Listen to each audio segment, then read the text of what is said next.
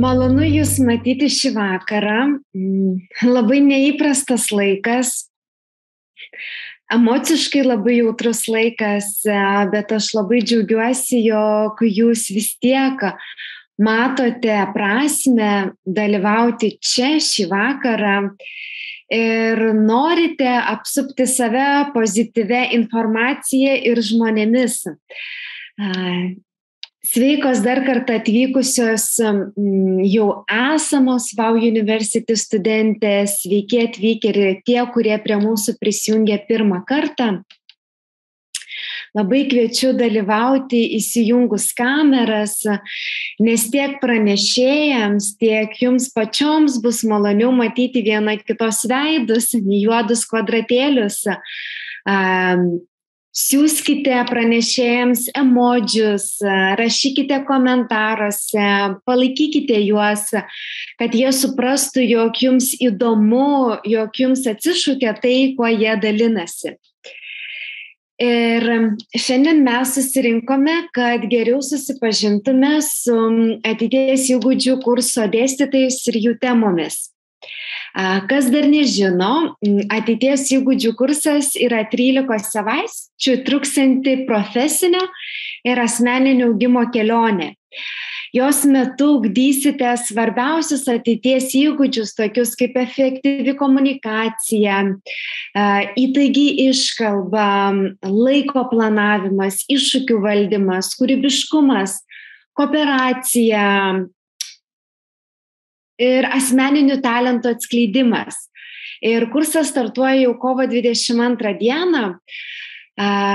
Primenu, kad jame dalyvauti galite ir savo tempu, o visa mokymosi medžiaga jums bus prieinama dar iki rugsėjo pirmos dienos. Šį kursą jau yra baigę daugiau nei 2600 moterų, iš tiesų didžiulė, draugiška, šilta ir palaikanti bendruomenę, su kuria kartu galėsit mokytis. Rytoj savo elektroninio pašto dėžutę gausite ir šio vakaro įrašą. Jei negalėsite dalyvauti iki galo, tai mm, pasilikite tiek, kiek galite ir rytoj galėsite peržiūrėti įrašą, galbūt norėsite kažkuriuos iš pranešimų paklausyti dar kartą.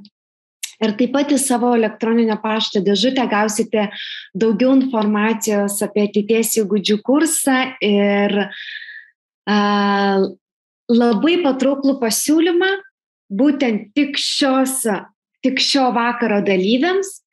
Tad nepražiopsokite šio laiško, jis atkeliaus rytoj jūsų pašto dėžutę. Šiandien mes turime penkis pranešėjus ir jie pasidalins savo išvalgomis ir atradimais, kurie gimė iš daugelio metų praktinės patirties. Kiekvienas pranešimas labai koncentruotas, mm, todėl tikiu, jų metu ir jūs įsinešite kažkokį atsakymą būtent savo po visų pranešimų turėsime maždaug 10-15 minučių trukmės klausimų atsakymų sesiją su vakaro pranešėjai, pranešėjais. Jei jums kyla klausimų, nepamirškite jų, užsirašykite kažkur į savo išrašus ir tuomet galėsite juos užduoti, kada tam bus skirtas laikas. Ir taip pat turėsime maždaug 10 minučių skirtų tam, kad jūs galėtumėte paklausti klausimų, kas susijęs su pačiu kursu, apie programą ar struktūrą ir aš galėsiu jūsų klausimus patikslinti. Tai iš viso planuojame užtrukti maždaug dvi valandas ir iki devynių tikrai baigsime kaip sakiau, jeigu jūs turėsite išbėgti anksčiau, tai galite tą padaryti, nors labai labai mm, rekomenduoju pasilikti iki pačios pabaigos, bet jeigu ką, įrašą gausite rytoj į savo elektroninio pašto dėžutę.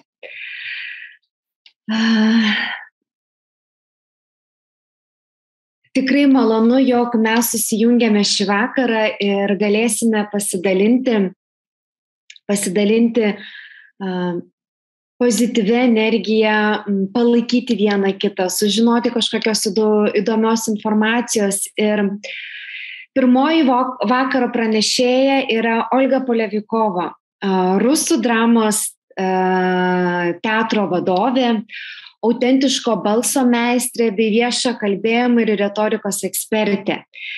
Dėka ne vienerius metus skuptų žinių ir kompetencijų, šiandien Olga yra vien, vertinama kaip viena geriausių šios ryties specialisčių Lietuvoje. Mm, kad ir kaip būtų gaila, šį vakarą gyvai Olgos neišvysime, nes ji kaip tik šiuo metu dalyvauja bendro Gedrė Žičkytės ir Irinos Silik filmo Mėlyna kaip apelsina žemė premjeroje kuri vyksta kaip palaikymo akcija Ukrainai ir daugelis iš filmo surinktų lėšų bus paukota nuo karo nukentėjusiems. Tad su Olga šiandien visai prieš renginio pradžią įrašėme interviu E, kurio metu Olga pasidalins apie žodžio ir iškalbos svarbą tokiuose sudėtingose situacijose ir krizėse, kaip turime dabar. Tikrai interviu yra nuostabus ir labai atliepiantis šiandieno situaciją. Tai aš norėsiu pasidalinti mm, įrašu tikrai linkiu išklausyti, kviečiu išklausyti iki pat galo. Sveika, Olga. Tai net nežinau, kaip pasakyti, šiandien tokia keista, toks keistas tikriausiai vakaras, kokio mes niekas nesitikėjom ir šiandien matome su WOW University dalyviai šito renginio, šito susitikimo onlininiu būdu, nors turėjom abi dvi dalyvauti gyvų būdų, bet manau, kad mes vis tiek galim pertikti žinutę, mm, apie ką vis dėlto bus tavo paskaita, kuri bus ateities įgūdžių kurse. Ir man toks jausmas, kad šiandien dienai tavo paskaitos tema, kaip perėti nuo paprastos kalbos prie įspūdingos, gali kaip tik būti dar aktualesnė, kada mes matom, kiek daug žodis gali lemti ir reikšti. Kaip tu pati matai, Kaip tu pati matai situaciją, vat, kokią mes turim ir tavo tema, žodžio tema? O, Ką šiandien daro žodis mūsų gyvenime? Labai labai sudėtingas klausimas ir aš šiandien galvoju tą, ką, kaip tau pasakiau, ką mes sugalvojame praeitame gyvenime, kiek tai išliks aktualu šiandien. Nes nuo ketvirtadienio yra tiek pokyčių visų mūsų gyvenime ir pasaulyje, kad tai yra sudėtinga apmąstyt, suprast, labai sudėtinga neveikti reaktyviai. Ir ką reiškia šiandien žodis? Ir jeigu tai yra apmąstytas žodis, jis reiškia labai daug. Paklausykime, ką kalba šiandien Ukrainos prezidentas ir kokios jo kalbos. Neįtikėtinos tiesiog. Tai yra lyderio kalba, lyderio, kuris atsirado čia mūsų akise, visų mūsų, mūsų realybėje Ir galbūt šiandien jis tapo, kaip ir daugumai, man didžiausias pavyzdys, ką reiškia kalba, kuri įkvepia, kuri nuramina, kuri tave suima ir tu nustoji blaškytis, tu susikoncentruoji ir tada klausimas, kiek kainuoja žodis ir kiek jis reiškia. Labai daug. Labai labai daug. Šiandien mes matom ir kito, kitokių pavyzdžių. Jie nebūtinai blogi, bet kaip pavyzdžiui, a, kiekvienas šiandien tapo politikos ekspertų, mhm. a, kiekvienas tapo labdaros surinkėjų, kas yra ir labai gražu, bet kartu atrodo, kad kiekvienas mm, šitoj situacijai turi savo poziciją, kurią jaučiasi privalantis pasakyti. Ką tu manai, ar tokiuose situacijose kaip šiandien tikrai kartais e, nereiktų galbūt patilėti geriau, galbūt kažko nepasakyti? Kur ta siaura riba, kada tu sakai ir tai iš tiesų yra jėga, su kuria tu eini ir ta, kažką gali sukurti su tuo galų gale? O kur tai yra, nu toks, atsiprašau už tą žodį, bet plepalų lygius, kuris kartais galbūt net gali tikrai padaryti žalos? Man taip rezonuoja, ką tu klausi ir ką tu sakai, nes Ir šitos mintis sukasi mano galvoje jau kelios dienos. Iš tikrųjų, kartais um, atrodo, lyg tu privalai kažką pasakyti. Jeigu tu nepasakysi, tai tu liksi už borto ir tai yra nesąmonė visiška. Aš manau šiandien taip. Ir tai liečia mūsų, mūsų temą, kurią, kurią mes paimsime šį kartą su, su seminaro dalyvėmis. Praeitą kartą mes kalbėjome apie save, ar ne, apie pojūtį, apie tai, kaip aš kvepuoju, apie tai, kaip aš užimu savo erdvę, kaip aš perdodu savo žinutę. Aš ir šiandien esu įsitikinusi, kai tu jauti save, Tik tai nuo to tu gali transformuoti, perteikti, paliesti ir taip toliau, ir taip toliau. O šioje paskaitoje mes kalbėsime apie tai, kaip suformuluoti žinutę, kaip ją perteikti ir kada to nereikia daryti visiškai. Kalbėjimas vardant kalbėjimo ne, nereiškia nieko, bet aš pri, grįžtu prie tavo klausimo, kada reikia ir kada nereikia. Jeigu tu turi savo poziciją ir jeigu tau skauda, be abejo, aš negaliu atsiriboti šiandien nuo visų įvykių, bet atsitraukiam nuo politikos, atsitraukiam nuo tų galingų, neįtikėtinai stiprių įvykių, kurie vyksta dabar pasaulyje. Grįžkime į savo šeimas, į vaikų auklėjimą, į bendradarbiavimą su savo vadovu arba su pavaldiniais. Jeigu tu turi kažkokią idėją, mintį ir savo poziciją, neužtenka apie ją galvoti. Ja reikia išreikšti. Ja reikia paleisti gyventi. Tu gali ją užrašyti ir perduoti laišku. Tu gali, gali kompiuteryje uh, spausdinti ir siūsti. Tu gali ją perduoti žodžiu, bet tu privalai tai padaryti.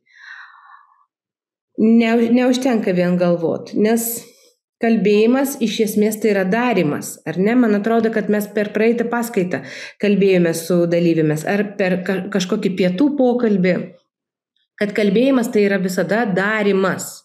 Tu kažką nori pakeisti klausytojų um, galvoje. Tu nori kažkur patraukti, tu nori įkvėpti, tu nori, nežinau, sustabdyti.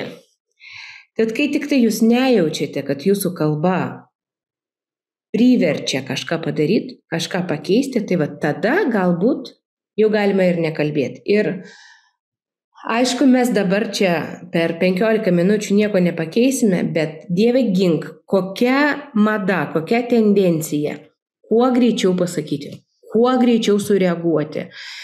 Ir aš labai labai noriu pasikalbėti su dalyvėmis apie tai, kad va, tas kuo skubiau, kuo ryškiau nėra proaktyvu, tai nėra sveika. Reikia neprarasti savo kvepavimų, reikia neprarasti savo tikėjimo, reikia neprarasti savo pozicijos, reikia spėti apgalvot ir tada jau tikslų tikslų žodį perduoti kitiems. Ir jis būtinai bus veiksmingas, nes jis bus pilnas tavo energijos, jis nebus tuščias. O tas momentas, apie kurį tu paklausai, Tai ar visada ar ne visada, kalbėjimas vardant kalbėjimo, toks mhm. išsitaškimas, tai visada yra pigu. Tai visada yra žodžio devalvacija, kaip aš sakau. Bet jeigu žodis yra apmastytas, jeigu tai pozicija, kuri reikalauja būti įgarsinta, tai visada bus stipru. Olga, tikriausiai pritarsi, kad mes, paminėjai pavyzdį, kai žiūrim tikrai šiandien ir manau daugelis iš mūsų stebi būtent ką šneka, ką sako būtent Ukrainos prezidentas ir tiesiogiai galima gyvi rasti tiesiog Instagram'e, sekti jį, klausytis kalbų. Ir žinai, koks man visada susidaro įspūdis, kai aš žiūriu, nes tikrai pažiūriu kartą į dieną, tiesiog atsidarau, pažiūriu. Ir toks įspūdis, kad tas toks labai tikrumas didelis kad tai nėra kažkokio genialaus kalbų rašyto parašyti tekstai, nes panašu tai, kad nėra net kada rašyti tos tekstus, bet kad žmogus realiai išgyvena kiekvieną savo lastelę tai, ką sako, ir tada į jo žodį tarsi susijungia ir jautrumas, tarsi, kad realus suvokimas, kaip jaučiasi žmonės, kurie kitoje eterio pusėje jį klausys, ir didžiulė jėga, ir didžiulė ramybė, ir šalia to labai labai gražus toks diplomatiškas būdas tai pasakyti. Tarsi visa tai susijungia į vieną visumą, bet jeigu iš kitos pusės žiūrėti, tai yra tas pats vienas žmogus, kuris savimi tai transliuoja. Ar tu taip pat irgi nuskaitai, kai klausaisi Ukrainos prezidento? Jo klausytis yra labai gera. Jis yra profesionalas visom prasmėm. Dar visai neseniai galėjau pasakyti, kad jis nežinau, profesionalus kalbėtojas, jis aktorius, šaumenas buvo. Ir, ir mažai patirties jis turi politikoje, dabar niekas negali pasakyti, kad jis politikoje nereiškia nieko, jis užaugo, jis, jis lyderis numeris vienas mano akimis šiandien ir, ir jo klausytis tikrai labai gera. Bet jeigu jau pradėt analizuoti, kaip jis tai daro, jis iš tikrųjų, aš manau, kad jau ir nesąmoningai, nes jis tikrai moka gyvai perduoti tą, ką jis, ką jis jaučia. Ir jo kalbos iš tikrųjų jausmingos, bet ten yra užkoduotos tos priemonės, kurios ir padaro uh, kalba įspūdinga. Jis nestabdo savęs, jis nekontroliuoja tikriausiai, neprognozuoja, jis tikrai kalba, paleidžia tą srovę, kuri gimsta jame. Jis turi patirties, o mes galime išmokti, jeigu mus irgi kažkas paliečia, jeigu mes sergame už kažką, arba mes norime pasiekti kažką, įkvėpti kažką, tikrai reikia sužinoti, kaip tai yra daroma, kaip išmokti nesustabdyti savo geros emocijos, ne, ne ta, kuri jau nurauna visą, visą kalbą, visą kreipimąsi, bet ta, kuri padeda, kaip nesufiltruoti, ne, neapkirpti savo jausmo, nes protinga, logiškai sudėliota kalba be jausmo, tai yra kaip, kaip vanduo šaldytuvę uždarytame ant raktelio. Ir atėjo labai geras laikas, kai mes tikrai, tikrai pradėsime kalbėti daug jausmingiau ir atviriau, nes šitie įvykiai, jie, jie pakeis visus mus. Jau, jau pakeitė ir žinau, kad aš jaučiu ne viena. Ir vieta yra, ir laikas atėjo atvirumui ir ir jausmui. Atvirumui tikriausiai, tokiam tikrumui, nuoširdumui. Tuo pačiu tu matai, kas vyksta Lietuvoje ir mes turim tada kažkokiu analogijų, galim palyginti, ar ne? A, matom Ukrainos prezidentą, matom lietuviškus veidus, politikos veidus. A, kaip tu manai, kovo būtent ir galėtų pasimokyti mūsų, mūsų politikai, e, tai, ką mes dabar aptarim, tikriausiai tokio tikrumo, tokio nuoširdumo, nes aš ką pastebiu dažniausiai kaip tendencija, kada stebi išnekančius Lietuvos politikus aukščiausio rango, kad tarsi visada yra atstumas nuo žmogaus. Tuo tarpu, klausant Ukrainos prezidento, tu jauti, kad tiesiai į tave šneka, su tavim realiai laiko kontaktą, su tavim bendrauja. Aš labai labai tau pritariu. Ir aš manau, kad atstumas apskritai pasitrauks iš mados. Ką aš ką tik sakiau, kad mada pasikeis. Ir žinai, nuoširdžiai e, kalbėti ir kalbėti be atstumo nėra lengva. Ir išlaikyti savo poziciją, savo statusą yra daug lengviau, nes tu sustatai tokį pylę aplink savęs ir tokiu būdu giniesi, kaip išmokti nesi, ne, neginti savo kalboje, neatsiriboti, bet vėlgi tą, ką aš suplanavau, suplanavau kuo pasidalinti su dalyvėmis šį kartą, apima visą kontekstą ir jausmą, kaip jausti ir išreikšti, kaip nestatytų tiltų iki žmonių, bet kalbėti tiesiogiai su jais, be, be atstumo. Kaip kalbėti taip, kad tave lengva būtų suprasti, kaip išnaudoti visa, visus instrumentus ir visas galimybės, ir vaizduotę, ir metaforas, ir, ir ritmą, ir logiką. Galų gale, kaip praturtinti savo kalbą, kaip kažkada buvo madoje. Mūsų kalba, nu jinai tapo tokia kuklesnė, tokia skurdesnė, Bet skurdesnė ne, ne todėl, kad mes mažai žodžių naudojam. Galima ir 25 žodžius naudoti ir kartu tuos pačius, bet vis tiek kalba bus pilna kažko. O ko? Tavęs, tavo širdies, tavo minčių. Ir tai yra labai įdomu. Įlysti į tą mechaniką kalbos, po to išjausti ir visam, visiems laikams pakeisti savo būdą perteikti informaciją, atskleisti tą šaltinį, kuris, kuris yra kiekviename iš mūsų nuimti blogus įsitikinimus, kaip tai turi būti. Aš nesu, nesu visiškai iš tų žmonių, kurie sako, kad kiekviename yra talentas ir talentas yra. Galbūt vieno žmogaus talentas yra kalbėti, o kito žmogaus rašyti, o trečio žmogaus piešti ir mes to nežinome. Bet kad mes tikrai galime būti įdomesni ir tikslesni savo kalboje, Vienareikšmiškai. Vienareikšmiškai.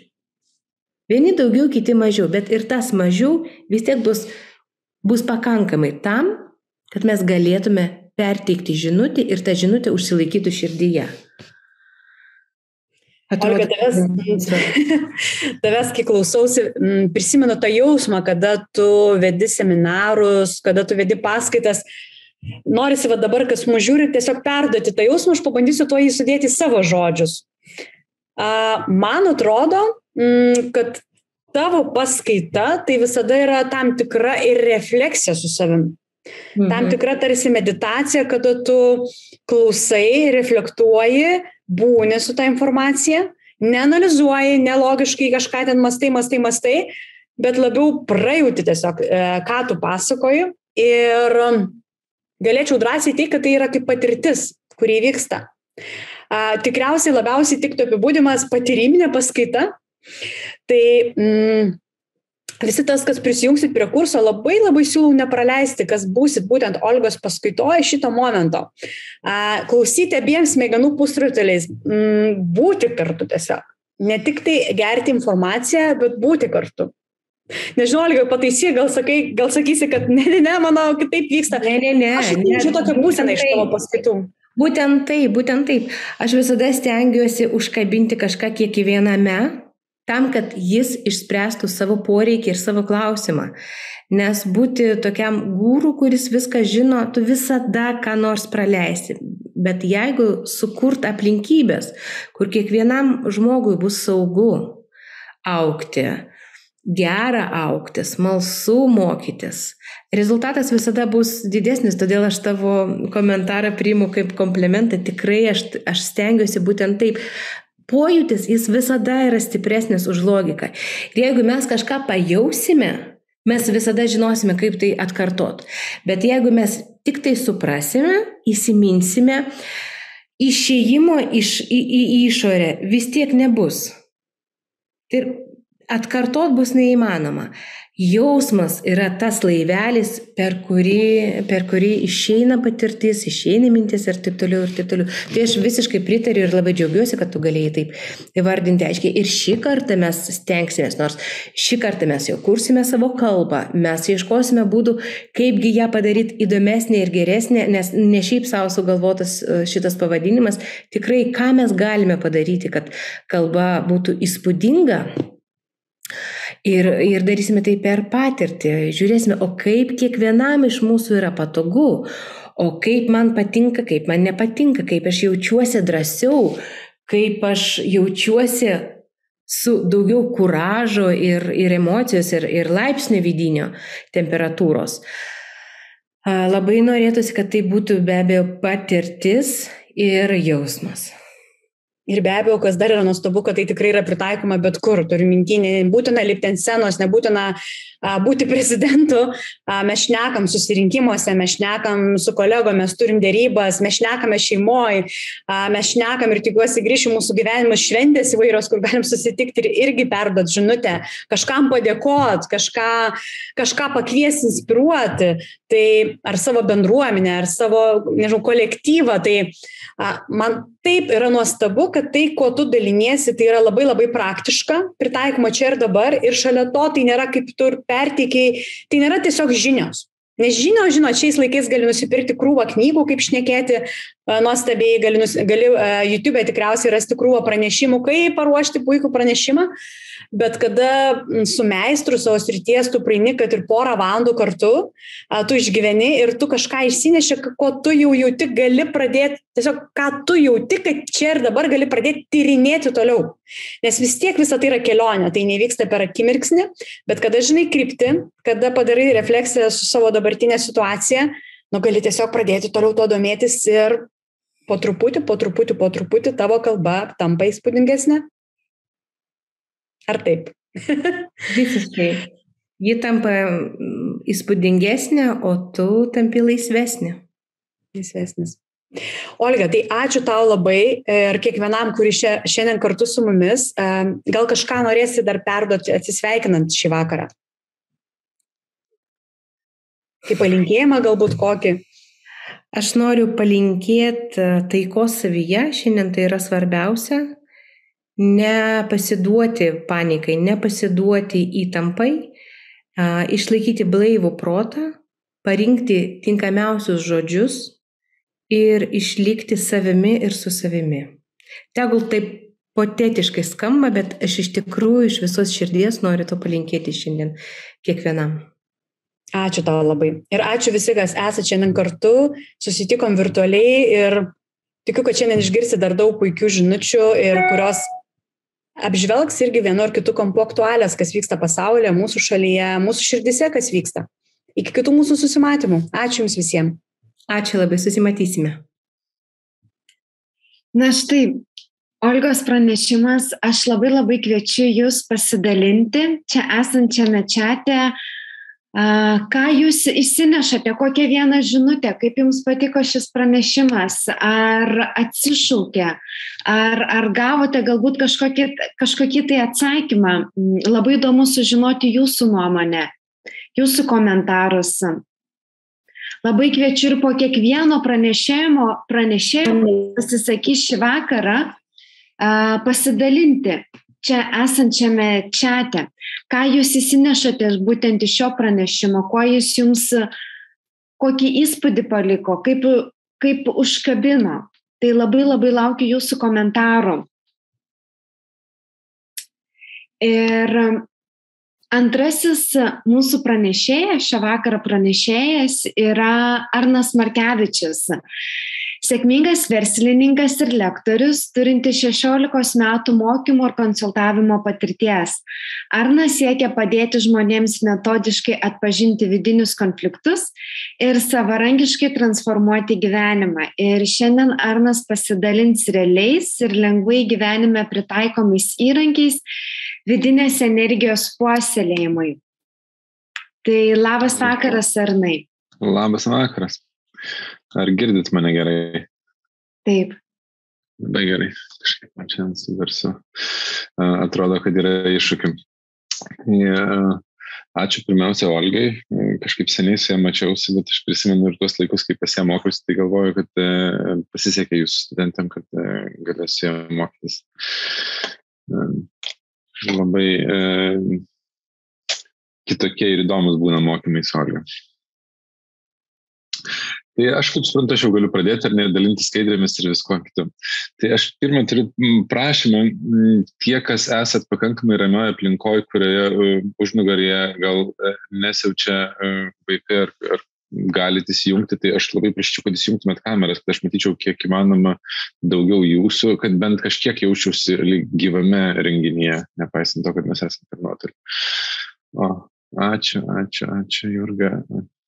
Dar kas, o, Jolanta, kaip malonu, ir ačiū aš visoms, kurios jau buvo atsijungusios. Uh, ir Agnė įsijungė. Ir išsijungė. Bet gerai, e, įsijunkit, kas galite, kad mes galėtumėm pabendrauti, kad jūs galėtumėt matyti, nes aš labai mėgstu matyti ir grįžtamą ryšį. Uh, tai ir galiu sulaukti jo, nes skaityti žinučių negaliu tik iš tų, kas žiūri uh, su kamera. Kas iš jūsų pirmą kartą girdėsit mane kalbantį kažkokiam pranešime ar, ar pakelkite ranką kokią nors. Na, taip, taip ir žinojau, skaudu, bet visi beveik. E, bet iš tikrųjų žinau, kad taip greičiausiai ir bus. Ir e, dėl to e, šiandien aš nekalbėsiu apie save tiesiogiai, nes mes turim labai nedaug laiko. Labai trumpai, kai mane pristato, aš taip mėgstu labiau vadintis paprastu žodžiu, kad aš esu praktikas.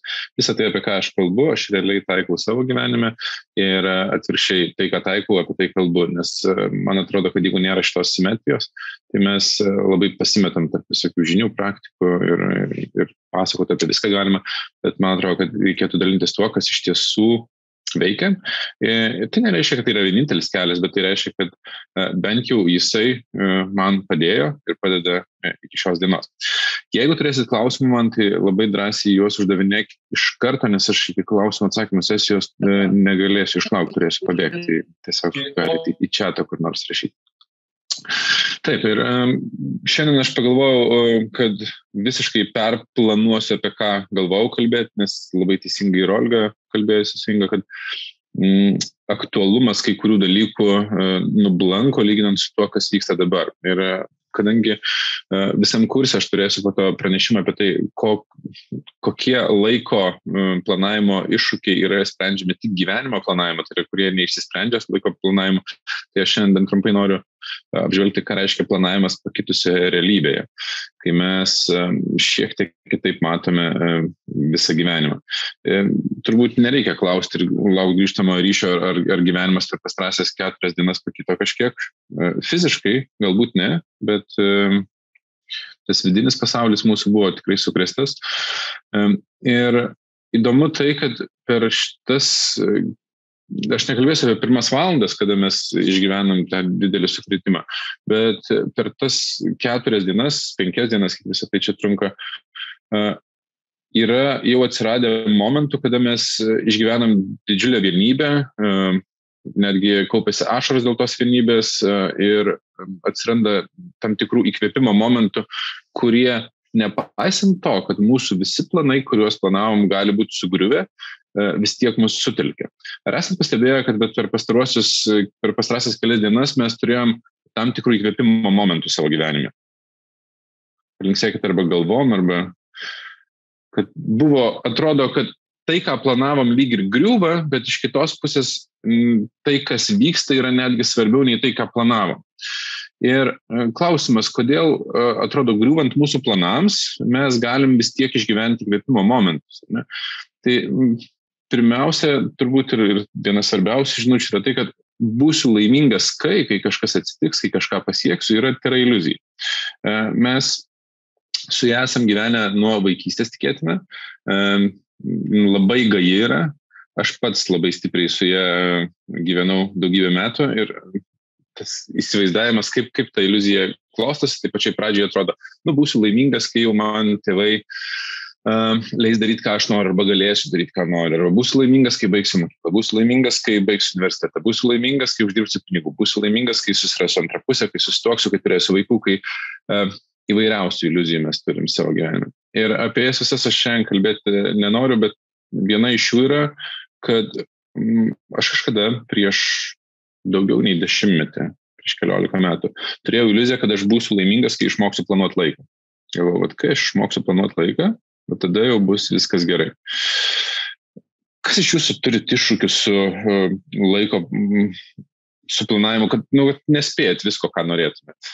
Pakelkite rankas ar palinksėkit galvą.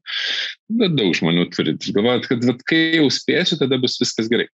Ir kad ir kaip žiauriai beskambėtų, tai tai yra iliuzija.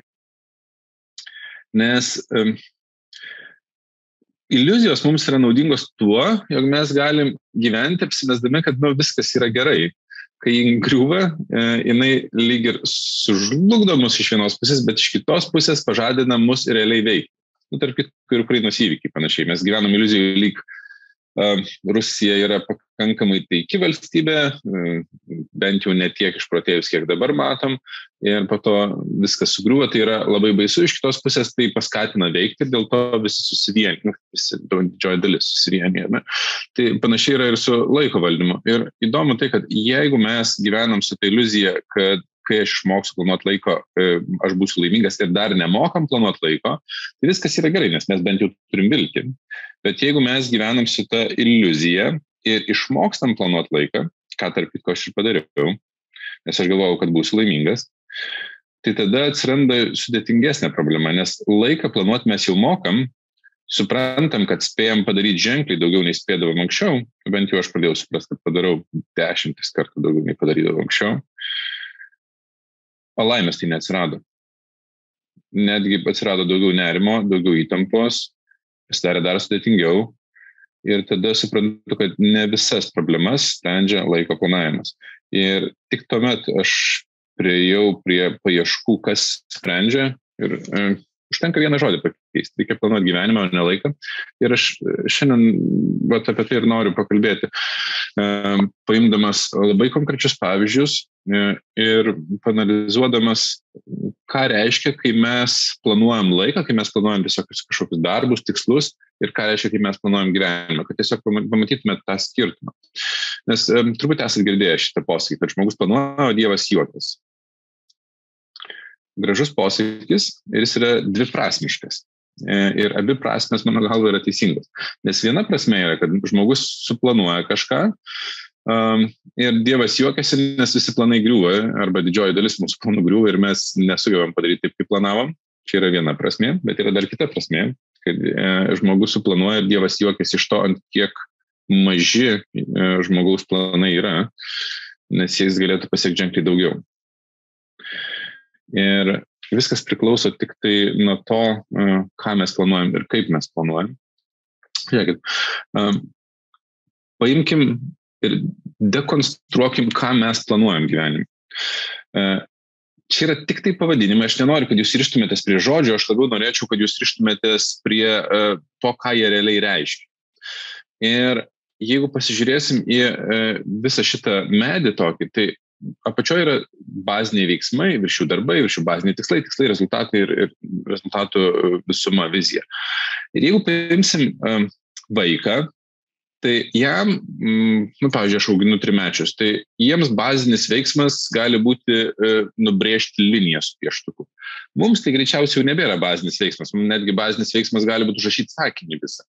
Tai ne, neprisiriškim prie to, kas kam yra, bet bet kokiu atveju iš kažkiek bazinių veiksmų susideda bendras darbas, kurį mes turime. Tai jeigu vat, vaikas mokosi nubrėžti vieną liniją, tai iš kelių linijų jam jau susideda kažkokia raidė.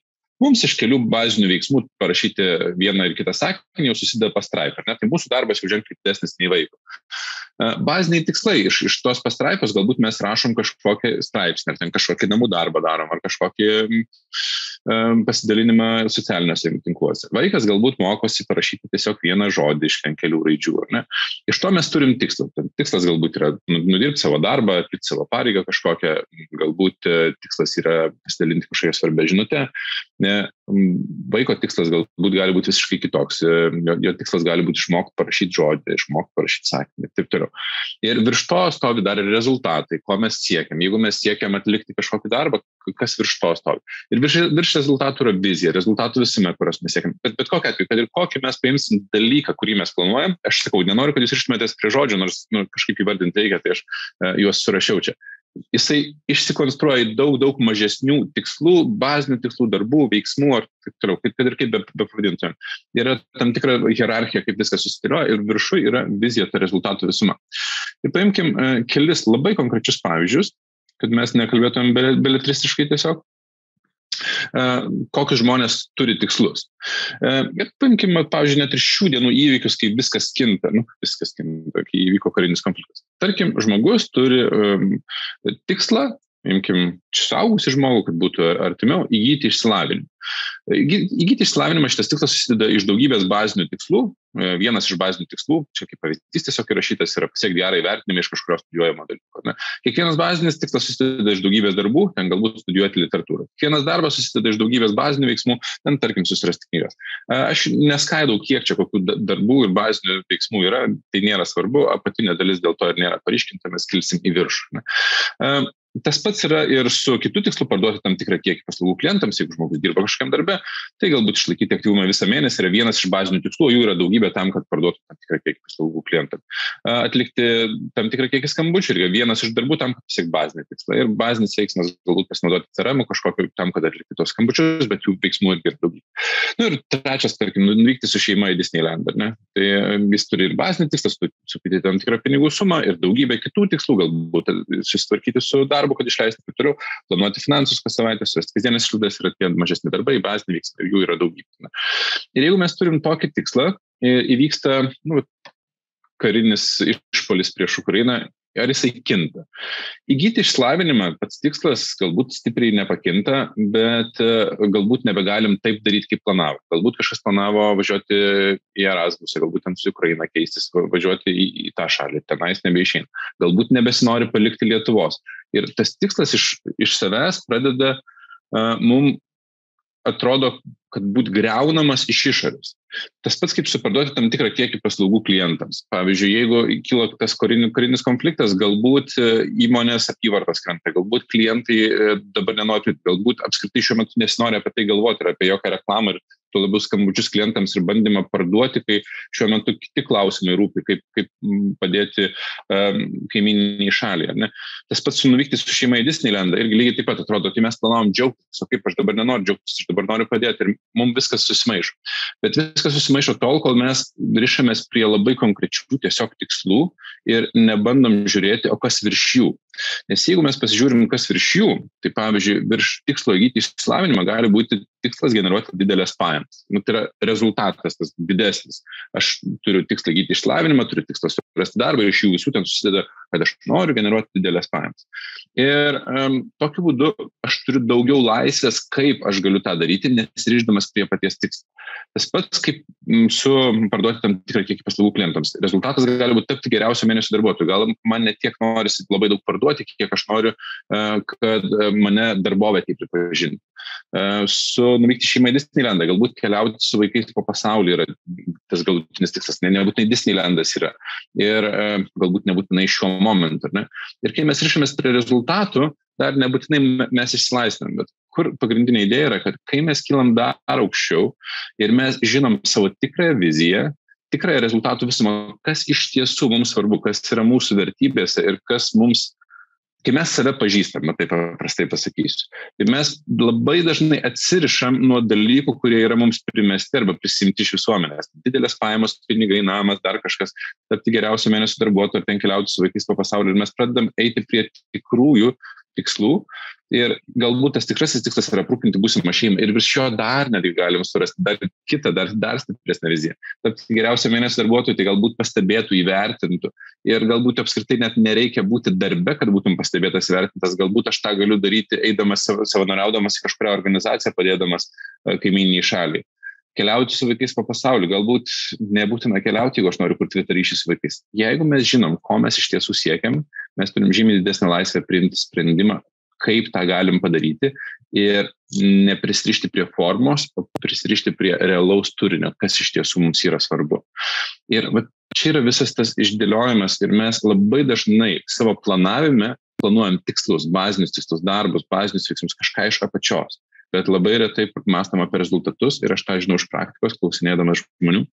Dar rečiau mes planuojam viziją dar rečiau mes pažįstam save ir tiks, tik, tiksliai žinom, kas mus įkvepia. Ir taip, tai nebūtinai yra lengva, aš tą puikiai suprantu, nes surasti alternatyvas yra kartais sunku, bet savęs pažinimas, o nemokėjimas planuoti suteikia gyvenimui pilnatvės. Jūs visi esat, jūs visos esat turėjusios dienų, kada per dieną nepadarėt visko, ką planavot, bet gale dienos jautėt, kad buvo prasminga diena, tiesa? Ir lygiai taip pat yra buvę dienų, E, kada padarėt viską ir galė dienos grįžti ir nesijauti, kad buvo prasminga diena. Jautiesi, kad tiesiog padariau visus darbus. Ir čia yra tas esminis skirtumas. Ir adaptuotis prie visos situacijos nėra lengva ir aš puikiai suprantu, kad kai kurie dalykai, kuriuos darau, man neteko prasmės per pastrasis kelias dienas, bet per kelias dienas mes sugebėjom surasti galimybę, net būdami svetur, man viena iš vertybių yra šeima ir mokinti vaikus apie visą tai, kas vyksta.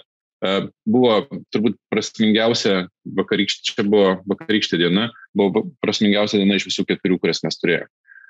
Nes nereikėjo bandyti savęs priversti kažką daryti ir darėm tai, kas iš tiesų rūpi, tai, kas iš tiesų svarbu man, mano šeimai, žmonai, man atrodo, kad ir visai visuomeniai, kad nauja karta auktų žinodama, kaip gali atrodyti laisva visuomenė, ar ne, ir kad, kad yra už ką kovoti.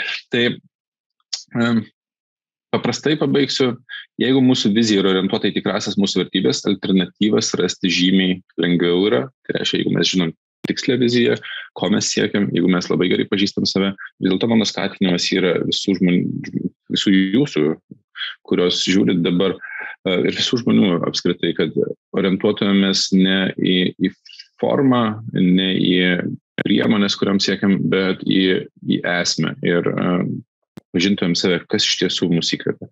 Tada daugelis iššūkių pasidarys žymiai lengvesnė. Bet tiek iš manęs. Ačiū labai, Arnai. Gal... Jeigu turit klausimų, tai nebent dabar galite užduoti, nes pabėgsiu. Pabėgsiu pas tas pačius vaikus iš tiesų.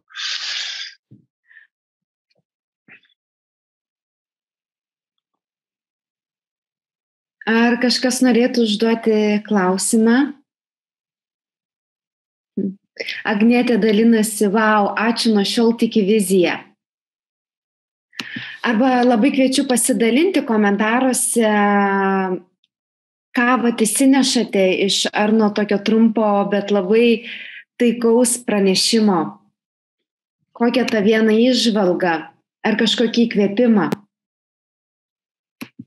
Kitu atveju su Arnu susitiksit ateities įgūdžių kursė ir jis žymiai plačiau pristatys jums šią temą, ne laiko planavimą, bet gyvenimo planavimą kaip iš tikrųjų didžiąją dalį laiko planavimų problemų sprendžia gyvenimo planavimas ir paskaita taip pat bus e, ne tik tai um, požiūrio plėtimo ar ne kažkokio, kad kvies pakeisti jūs požiūrį, bet ir labai praktiška.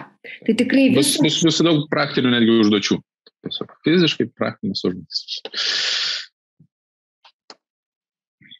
Tai jeigu mes neturim klausimų, noriu dar kartą Arnai padėkoti už pranešimą ir tuomet leisime tau bėgti pas savo šeimą. Ačiū Jums, gero vakaro likusim. Viso. Ir norėčiau tuomet judėti prie trečiosios mūsų šio vakaro pašnekovės. Ir mes turime Lauriną Varneckę, neuromokslų ir žmogaus elgesio psichologijos tyrėja, lektorė, ateities mokyklos forwardas įkūrėja, mokymų metodikų bei programų autorė.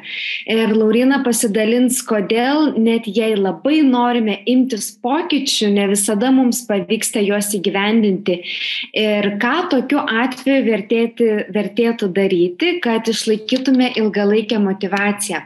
Labas vakaras, Laurina. Labai malonu, kad prisijungėte. Labas vakaras, merginas. Ar mane girdite? Taip. Nuostabu, da, pasakiau merginas, bet mačiau, kad ten liktai yra ir vaikinas vienas, tai tiesiog atsiprašau už tokį kreipinį.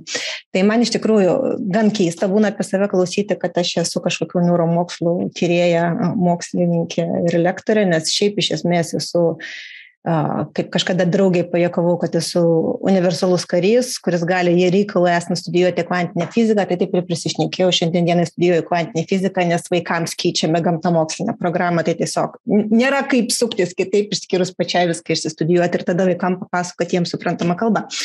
Tai iš esmės gyvenime tikrai dirbau daugelės ryčių, esu krizių labiau valdytoja, mane gali mesti bet kokią sritį ir gyvenimas mane įmetė į švietimą.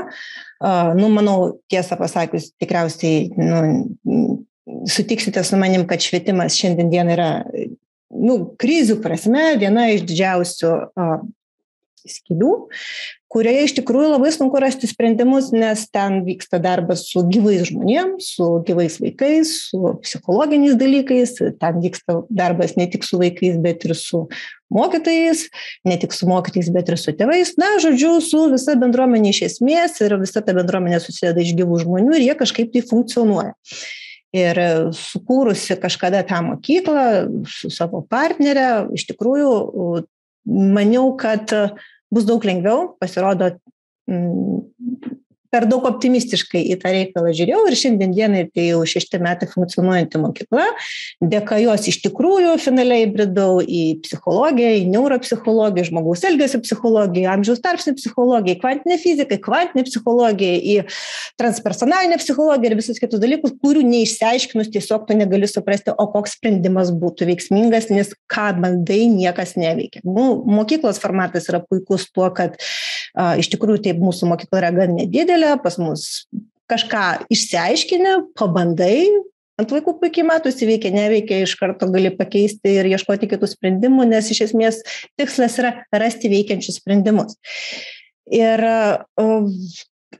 lektorė tapau vėlgi ne iš savo didelės svajonės, bet iš to, kad iš tikrųjų daug studijavau, apibendrinau krūvą medžiagos įvairiuose moksluose ir tiesiog iš praktinių priežasčių, kadangi nenusibodo mokykloje kiekvieną kartą nuo basic levelio aiškinti vaikams, tėvams, mokytojams, kaip mes, kaip mes funkcionuojame, kaip mes priimam sprendimus, kurioje vietoje guli mūsų motivacija, kodėl veikia arba neveikia vieni dalykai, kodėl mes vieną sakome, kitą darome ir taip toliau ir panašiai.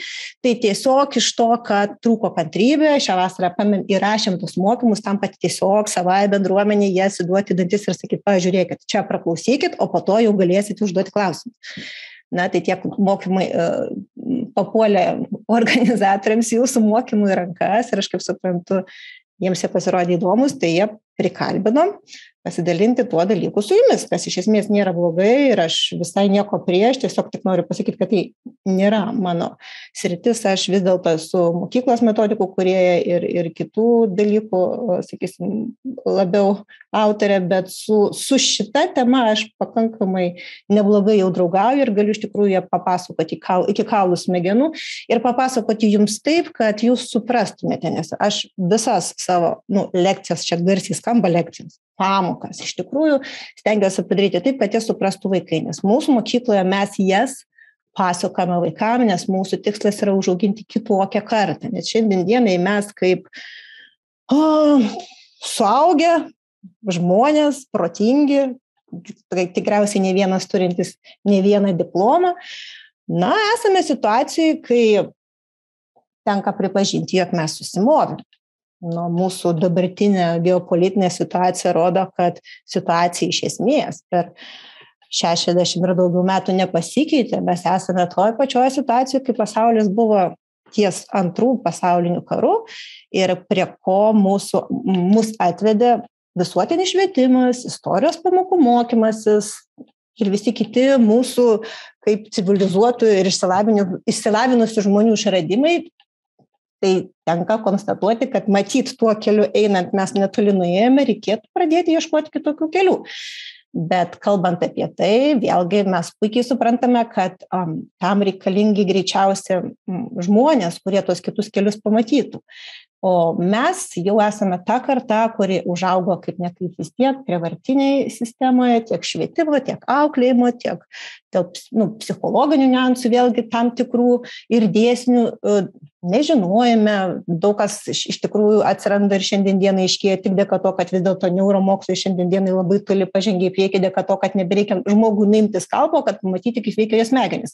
E, MRT ir kitos technologijos šiandien leidžia stebėti, kaip žmogus ir kokiam sąlygom priema vienus arba kitus sprendimus ir kas, pavyzdžiui, labai iš tikrųjų glumina, kai mokslininkai rodo, jog žmogus sako vieną, o jo smegenys sprendimą priima kitą ir jis net įsitikinęs, kad tai, ką jis pada, pasakė, yra teisybė, bet finaliai jis pasielgs vis tiek kitaip, nes jo smegenys priima visai kitą sprendimą, netgi anksčiau negu jis jį suvokė. Tai su tokiais dalykais iš tikrųjų mums labai sunku patiems susitaikyti, nes nu, kurgi mūsų laisva valia, nu negi čia mumis kažkaip nu, kaip kokiais zombiais uh, manipuliuoja kažkokios tai smegenys, gal čia mūsų galvoje kas nors gyvena ir mes čia tik šiaip esam kažkieno tai valios vykdytai, na, tokių visokių minčių ateina į galvą, bestudijuojančių laikinių neuromokslų naujausius atradimus, tačiau nėra viskas taip krūpų ir baisu, vis dėlto mes tą laisvą valią turime. Tik tai jinai yra labai giliai pasislėpusi ir mes iš tiesų um, dažnai jos uh, negalime atrasti, nes mums atrodo, kad uh, kol mums viskas gerai, kad mes esame savo gyvenimo šeimininkai, bet iš tiesų mes labai dažnai būname savo bazinių instinktų įkaitai. Ir čia šitoje vietoje atsitinka tokia painiava, kurią išsiaiškinti aš skiriu tikrai pakankamai daug laiko, tūkstančiai valandų studijų ir, ir gyvų studijų, kol dar buvo galima iki COVID pavažinėti. Tai tiesiog susisteminau viską iki taip vadinamo crash kurso, bazinių žinių lygio. Išbraižiau savo kažkokią tai plius minus pačiai savo suprantamą schemą, kaip ir minėjau, kad ta schema būtų suprantama mokyklinio amžiaus vaikams, nes jeigu jie šito dalyko nesupras, jie negalės kurti to ateities pasaulio. Nes kaip ne kaip, tam, kad suprastum kitus, tu visų pirma, tu turi suprasti save, kodėl tu vienos arba kitos aplinkybėse elgesi vienaip, kodėl tu sakai vieną, darai kitą, kodėl tu savo duodi pažadą ir eilinį kartą jo neištesi, kodėl, kodėl eilinį kartą perskaitęs vieną arba kitą self-help knygą, kaip uždirbti milijoną, kaip nebereikti vaikų, kaip numesti svorio, kaip būti laimingu ir taip toliau ir panašiai, įkvėpimo paimtas, duodi savo pažadą rytoj nuo ryto, ir tas rytas vėl būna eilinis ir tas pažadas vėl kažkur tai dingsta į nežinę, kas su mumis ne taip, kas mumise neveikia, kur mūsų gamykliniai nustatymai buvo pažeisti, kad mes vis dėlto negalime būti tokie, kokie mes likai ir norėtume būti, bet vėlgi čia yra tam tikri paklydimai, kokie mes iš tiesų norime būti, ar čia mes tokie norime būti, ar mūsų visuomenė iš mūsų to tikisi. Ir būtent čia šitoje vietoje man labai pastaruoju metu rezonuoja moterų tema, aš iš iš, iš esmės pačioj pradžioj labai keistai žiūrėjau jūsų universitetą į tą tokį moterį, moterų sambūrį, moterų, kurios nori savišvietą užsimti, bet, nu, matyt, vėlgi aplinkybės taip sukrito, kad iki, iki komunikacijos su jumis pradėjau matyti labai didelę prasme iš tikrųjų moterims šviestis, moterims suprasti, o kurie, kuriegi standartai, lūkesčiai, pasamoninės reakcijos mumise yra įkrautos per ilgus šimtmečius ir mes tarp jų blaškomės kaip nesuprasdamos, kad vis dėlto yra gyvenimas už sienos, nu ta prasme, kad mes iš tikrųjų taip jau giliai esame tame įklimpusios dėl to, kad istoriškai, sociologiškai, dėl vairių priežasčių atsidūrėm tam tikrose aplinkybėse, kuriuose mums buvo primestos tam tikros taisyklės ir mes nebematome gyvenimo už tų taisyklių ribų, nes mes labai dažnai žmogus negali pamatyti to, ko patirties neturi. Tai čia tikriausiai ne viena esate girdėjusi, kaip kažkada indienai nematė Kolumbo ir jo laivų, nes jų patirti nebuvo laivų ir nebuvo kažkokių tai kitų žmonių negu indienai ir jiems tiesiog jų suvokimui tai buvo nesuvokiama, nes nebuvo patirties. Ir bus pas mus, pas moteris lygiai taip pat, kadangi daug mes šimtų metų gyvename tam tikroje realybėje, mums labai sunku pamatyti tos, praplėsti tos realybės ribas ir pamatyti save platesnėme spektre ir tada atpažinti, kad, ai, tai va, kur čia mane laukinė moteris gyvena ir kaip jinai veržės ir kodėl aš jai, kaip aš jai galiu leisti būti, nes tada daug dalykų iš tikrųjų automatiškai susitvarko. Šiaip merginas, man atrodo, kad na man pačiai tas kursas buvo labai vertingas. Nežinau kaip jums nu paimsit nepaimsit čia jūsų reikalas bet turint omeny kadangi kadangi aš dirbu su mokymais ir su vaikų mokymu ir iš tikrųjų suprantu kada mokymas ir išmokimas veikia ir kuo skiriasi žinojimas nuo suvokimo čia kolegos prieš tai irgi apie tai kalbėjo kad praktika vis dėlto iš tikrųjų emocija praktika yra labai svarbu mokymesi ir tikriausiai žmogus kuris žino kas yra skyrybos tikrai skiriasi nuo žmogaus kuris tą suvokia kuris yra praėjęs per tą procesą. Tai turint omeny formatą kuriuo teks su jumis dirbti tai tikrai norėčiau jūs visas gyvai matyti, norėčiau jūsų akių, norėčiau jūsų klausimų čia ir dabar, nes man atrodo, tada atsitiktų tas toks nu, grupinės pasąmonės dėsnis įsivyrautų, nes grupinė pasąmonė irgi egzistuoja ir mes mokykloje tą puikiai matome, kai klasėje iš 30 kelių vaikų, e, penki vaikai supranta temą, o kiti tiesiog stebuklingai automatiškai irgi ją pagauna, nors tau atrodė jie beviltiški. Na, ta prasme, kolektyvinės pasąmonės galia yra labai stipri ir man atrodo, pasirodome šiandien ją puikiai irgi vėlgi visi jaučiame, ypač tie, kurie stebi medijas ir kai pasiduoda arba nepasiduoda tam tikrai emocijai, čia vėlgi yra tam tikri hygieniniai, psichologiniai įpročiai ir vėlgi gebėjimas save apsaugoti, suprantant, kaip tai veikia ir tam pasiduoti arba nepasiduoti, nu, bet sakau, čia yra jūsų asmeninis reikalas, kiekvienas iš mūsų šiandien dienai linksminamės kaip norime.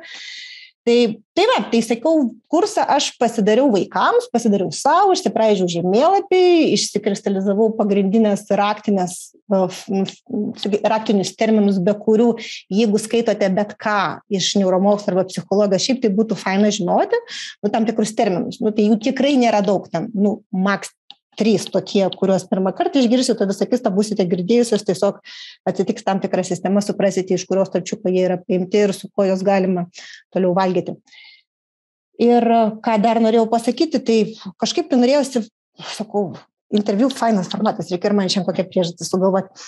Tai būtų klausimai, būtų atsakymai, būtų paprasčiau bet e, manyčiau jūs turėsite man klausimų galbūt va čia po visų pranešėjų ir aš mielai į juos atsakysiu nes tikrai labai norėčiau suprasti jūsų motyvus. Kodėl jūs mokotės? Ar jūs šiaip e, norite praplėsti savo akiratį, kas iš esmės yra žiūri sveikintinas nu, noras, nes su motivuotais žmonėm dirbti yra tikras malonumas, nes nu, man, mums dažniausiai mokykloje tenka dirbti su nu, motivuotais žmonėm ir prikelti jų smalsumą praktiškai iš uh, komos nu, yra iššūkis. Tai vat, kai žmonės savo norą ateina ir kažko tai klauso, tai man atrodo, čia kiekvienam mokytojui, mentoriui, lektoriui yra galimybė papasakoti kažką, ką jisai pats dėl savęs atrado. Ir aišku, dėl vat, iš praktinio išskaičiavimo, tai sakyčiau, kad jeigu yra toks formatas ir jūs vis dėlto norite maksimalios naudos savo, tai labai rekomenduočiau, kadangi turėsite įrašą. Nu, pirmą kartą klausote savo malonumui, tiesiog kas įeis, kas rezonuos, tas liks. Antrą kartą tą patį įrašą jau bandykite praklausyti su stabdymais ir pasikonspektavimais. Po pasikonspektavimų pabandome kažką tai prisitaikyti savo gyvenime, pasižiūrėti, tinka, netinka ir tada trečią kartą klausom ir tada visai kitaip viskas susiklauso. Nu, čia tiesiog toks praktinis patarimas, turint galimybę online kelis kartus praklausyti tą patį ir kažkaip tai padaryti taip, kad tai būtų ne tik žinojimas, bet ir suvokimas iš tų aplinkybių, kokia šiandien diena yra. Tai va, tai dar anonsuojant šitą būsimą, nežinau, čia ne kursas, čia bus lekcija berots ar paskaita, nežinau kaip čia vadinasi pas jūs, tai apie ką kalbėsim? Kalbėsim apie apskritai mūsų smegenis bet kalbėsime labai supaprastinta kalba. Ten tikrai nebus mokslinių ir lotyniškų smegenų dalių pavadinimų išskyrus vieną tai nežinau esat girdėjus jūs nesat prefrontal cortex mūsų prieš priekaktinė smegenų žievės dalis kuri iš tikrųjų yra mūsų mūsų valia mūsų stabdys mūsų kontrolierius mūsų didžiųjų planų generatorius ir taip toliau iš tikrųjų labai svarbus organas ir iš tikrųjų E, galbūt labai pervertintas, bet, bet iš esmės būtų verta žinoti jo vardą.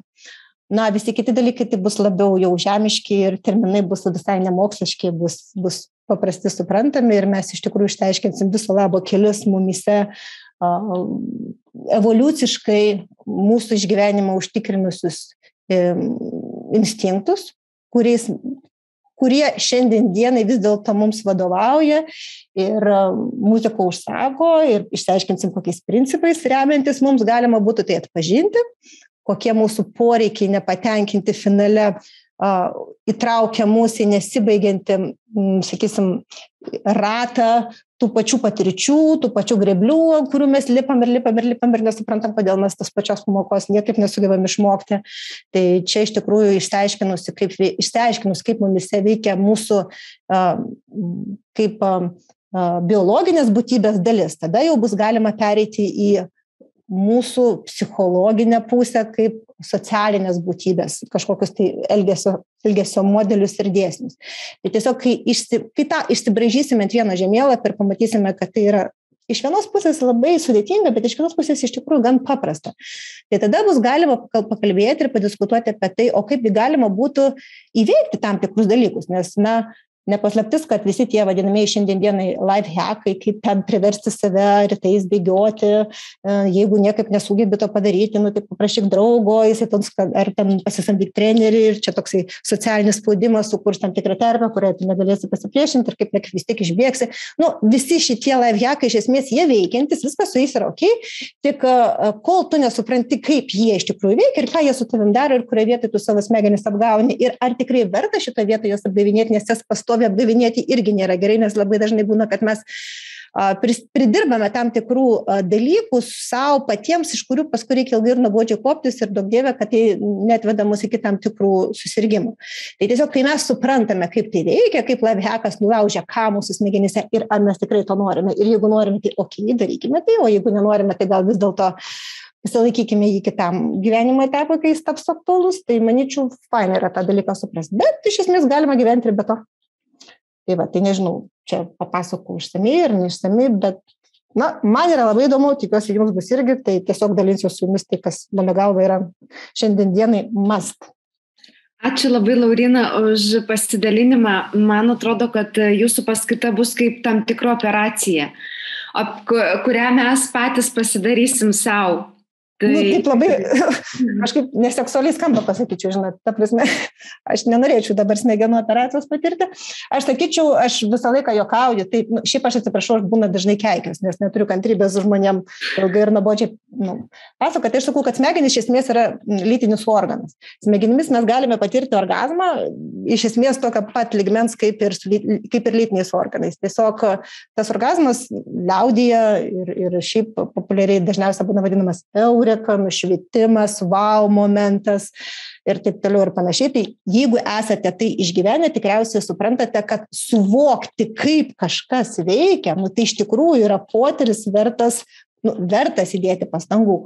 O jeigu tu suvoki kažką apie save, kaipgi tu funkcionuoji, kokie tavo gamykliniai parametrai iš esmės yra veikiantis, su kurie biški šlubuojantis, nu, tai čia iš viso mano galva yra toks, nu, nu, tikrai nušvitimas, kalbant apie save. Ir kai tu suvoki, kaip funkcionuoji tu, tada tu pradedi atpažinti, kaip funkcionuoja kiti ir tavo pasaulis pradeda po truputėlį aiškėti ir, ir kažkaip gerėti ir laimingėti. Nežinau, čia iš esmės patirties, bet gal jums ir nepasiseks.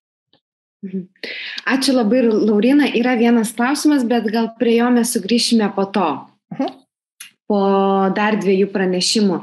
Tai ačiū labai ir aš tuomet norėčiau. Ir aš tuomet norėčiau pakviesti mūsų ketvirtąją šio vakaro pranešėją ir ji yra Jurga Šeduikytė ir viena žinomiausių Lietuvos dainininkių, muzikos kuriejų, trijų knygų autorė ir Jurga pakvies jūs į autentišką pažinti su savimi, nepaisant savo amžiaus ar socialinės padėties ir pasidalins, kaip įveikti baimės, nežinomybės jausmus, kurie dažnai mus kausto ir tikiu įkvėps jūs naujoms paieškoms ir naujiems veiksmams. Labas vakaras, Jurga. Labas, girdisi? Taip.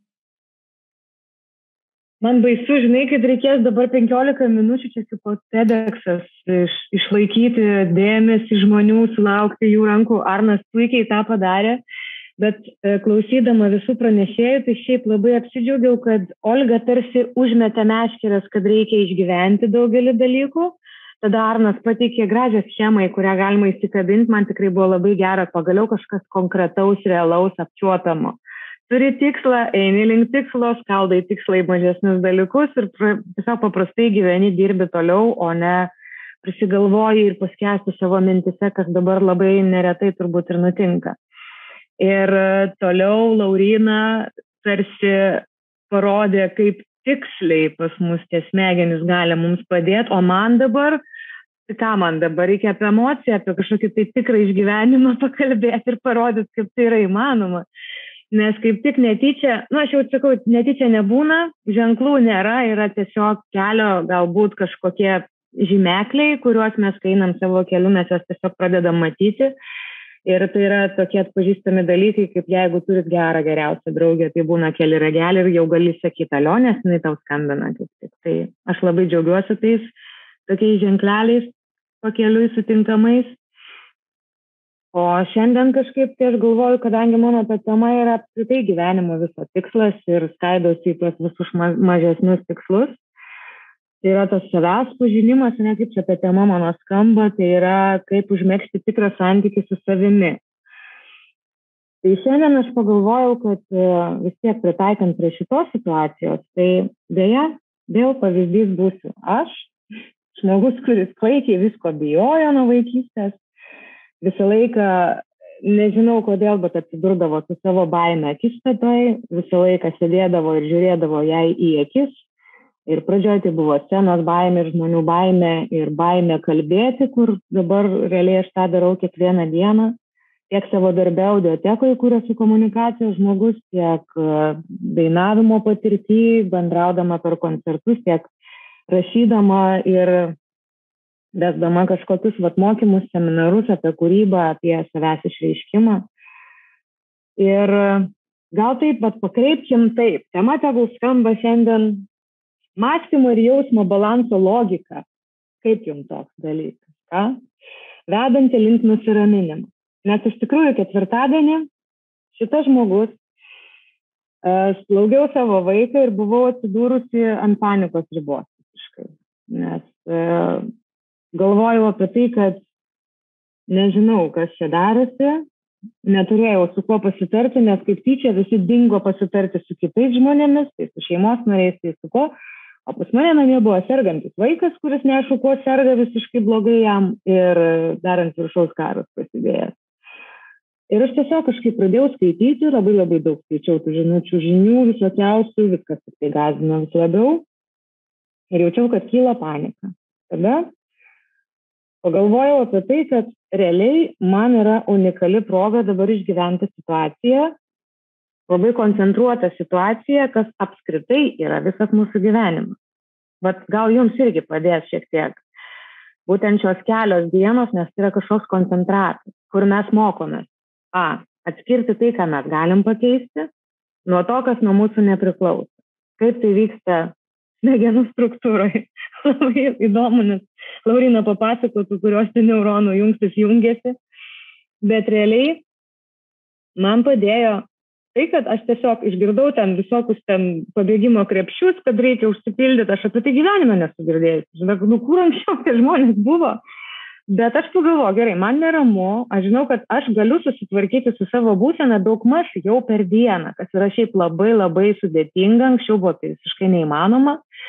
Bet kažkaip tai matyt visos organizmo gelbėjimosi sistemos jos veikia pakankamai neblogai. Ir aš nuėjau, nusipirkau kažkokių kruopų.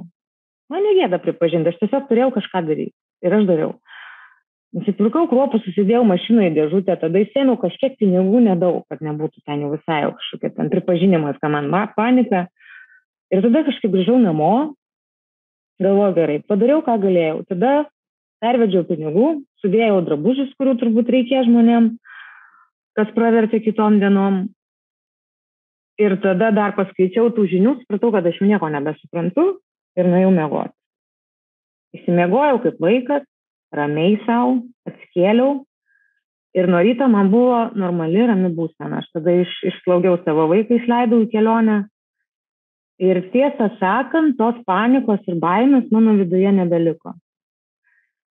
Ir e, man būtų šiaip įdomu, Viktorija, e, Laurina, jūs galite gal pakomentuoti, prasme, kokiu būdu smegenys šitoje situacijoje konkretaus žmogaus atveju priėmė sprendimą iš panikos pereiti į ramybės būseną, kas yra atrodo neįmanoma karo situacija, ar ne?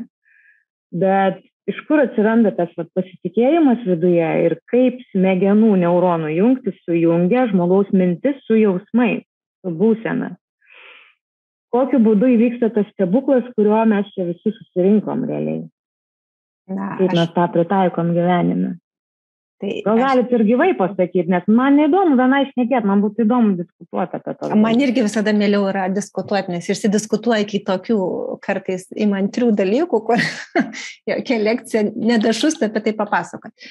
Tai, na, žinai, man atrodo, Jurga, aš kažkokio tai dviračio neišrasiu šitoje vietoje, man atrodo, ir psichoterapeutai, ir šiaip psichologų bendruomenė. Čia ne apie, ne, ne apie neuronų jungtį eina kalba, čia neuronų jungtis iš, iš esmės yra išmokimas. Jeigu tu kelis kartus tą pakartoji, tavo kūnas kūnas tą išmoko, jis atpažino ir sekantį kartą jis tiesiog reaguoja arba nereaguoja. Aš taip spėju, kad tu greičiausiai treniravaisi iki tol dirbti su savo panašiom būsenom ir šiandien dienai tavo, kaip tu pati sakai, laikas sutrumpėja, nes anksčiau tau pavykdavo tokią būseną įveikti per ilgesnį laiką, šį kartą per trumpesnį, bet iš kitos pusės visi psichoterapeutai ir, ir, ir dvasiniai lyderiai, šiaip visi, kas dirba su žmonėmis, jie visada kalba, kad jeigu nori veikti baimę, tiesiog žiūrėk ją į akis.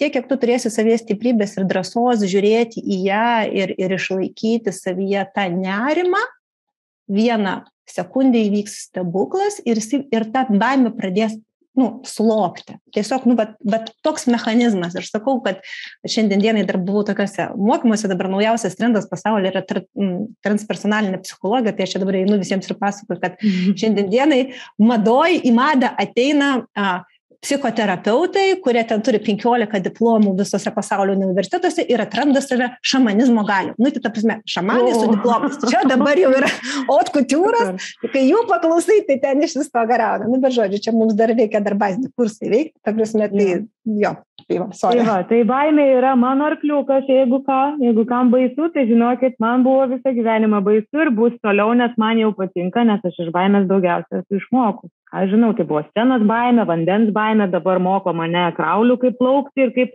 rankų va šitą dalį jau galvoju, kaip, kaip ją dabar pajungti jau savo, kad kuo daugiau vandens užgriebtų. O ne tai, kad gelmės ten kažkokios baime. Jis po truputėlį nyksta, kai kūnas jau turi kažkokias galimybės padėti, jisai klauso. Ir vad norėjau pasakyti, tai vad, vidinės pajėgos kažkokios išbūnant tai, kas iki galo yra baisu ir netgi matant, kad tai virsta panika ir nepanikuojant nuo to, kad tau panika.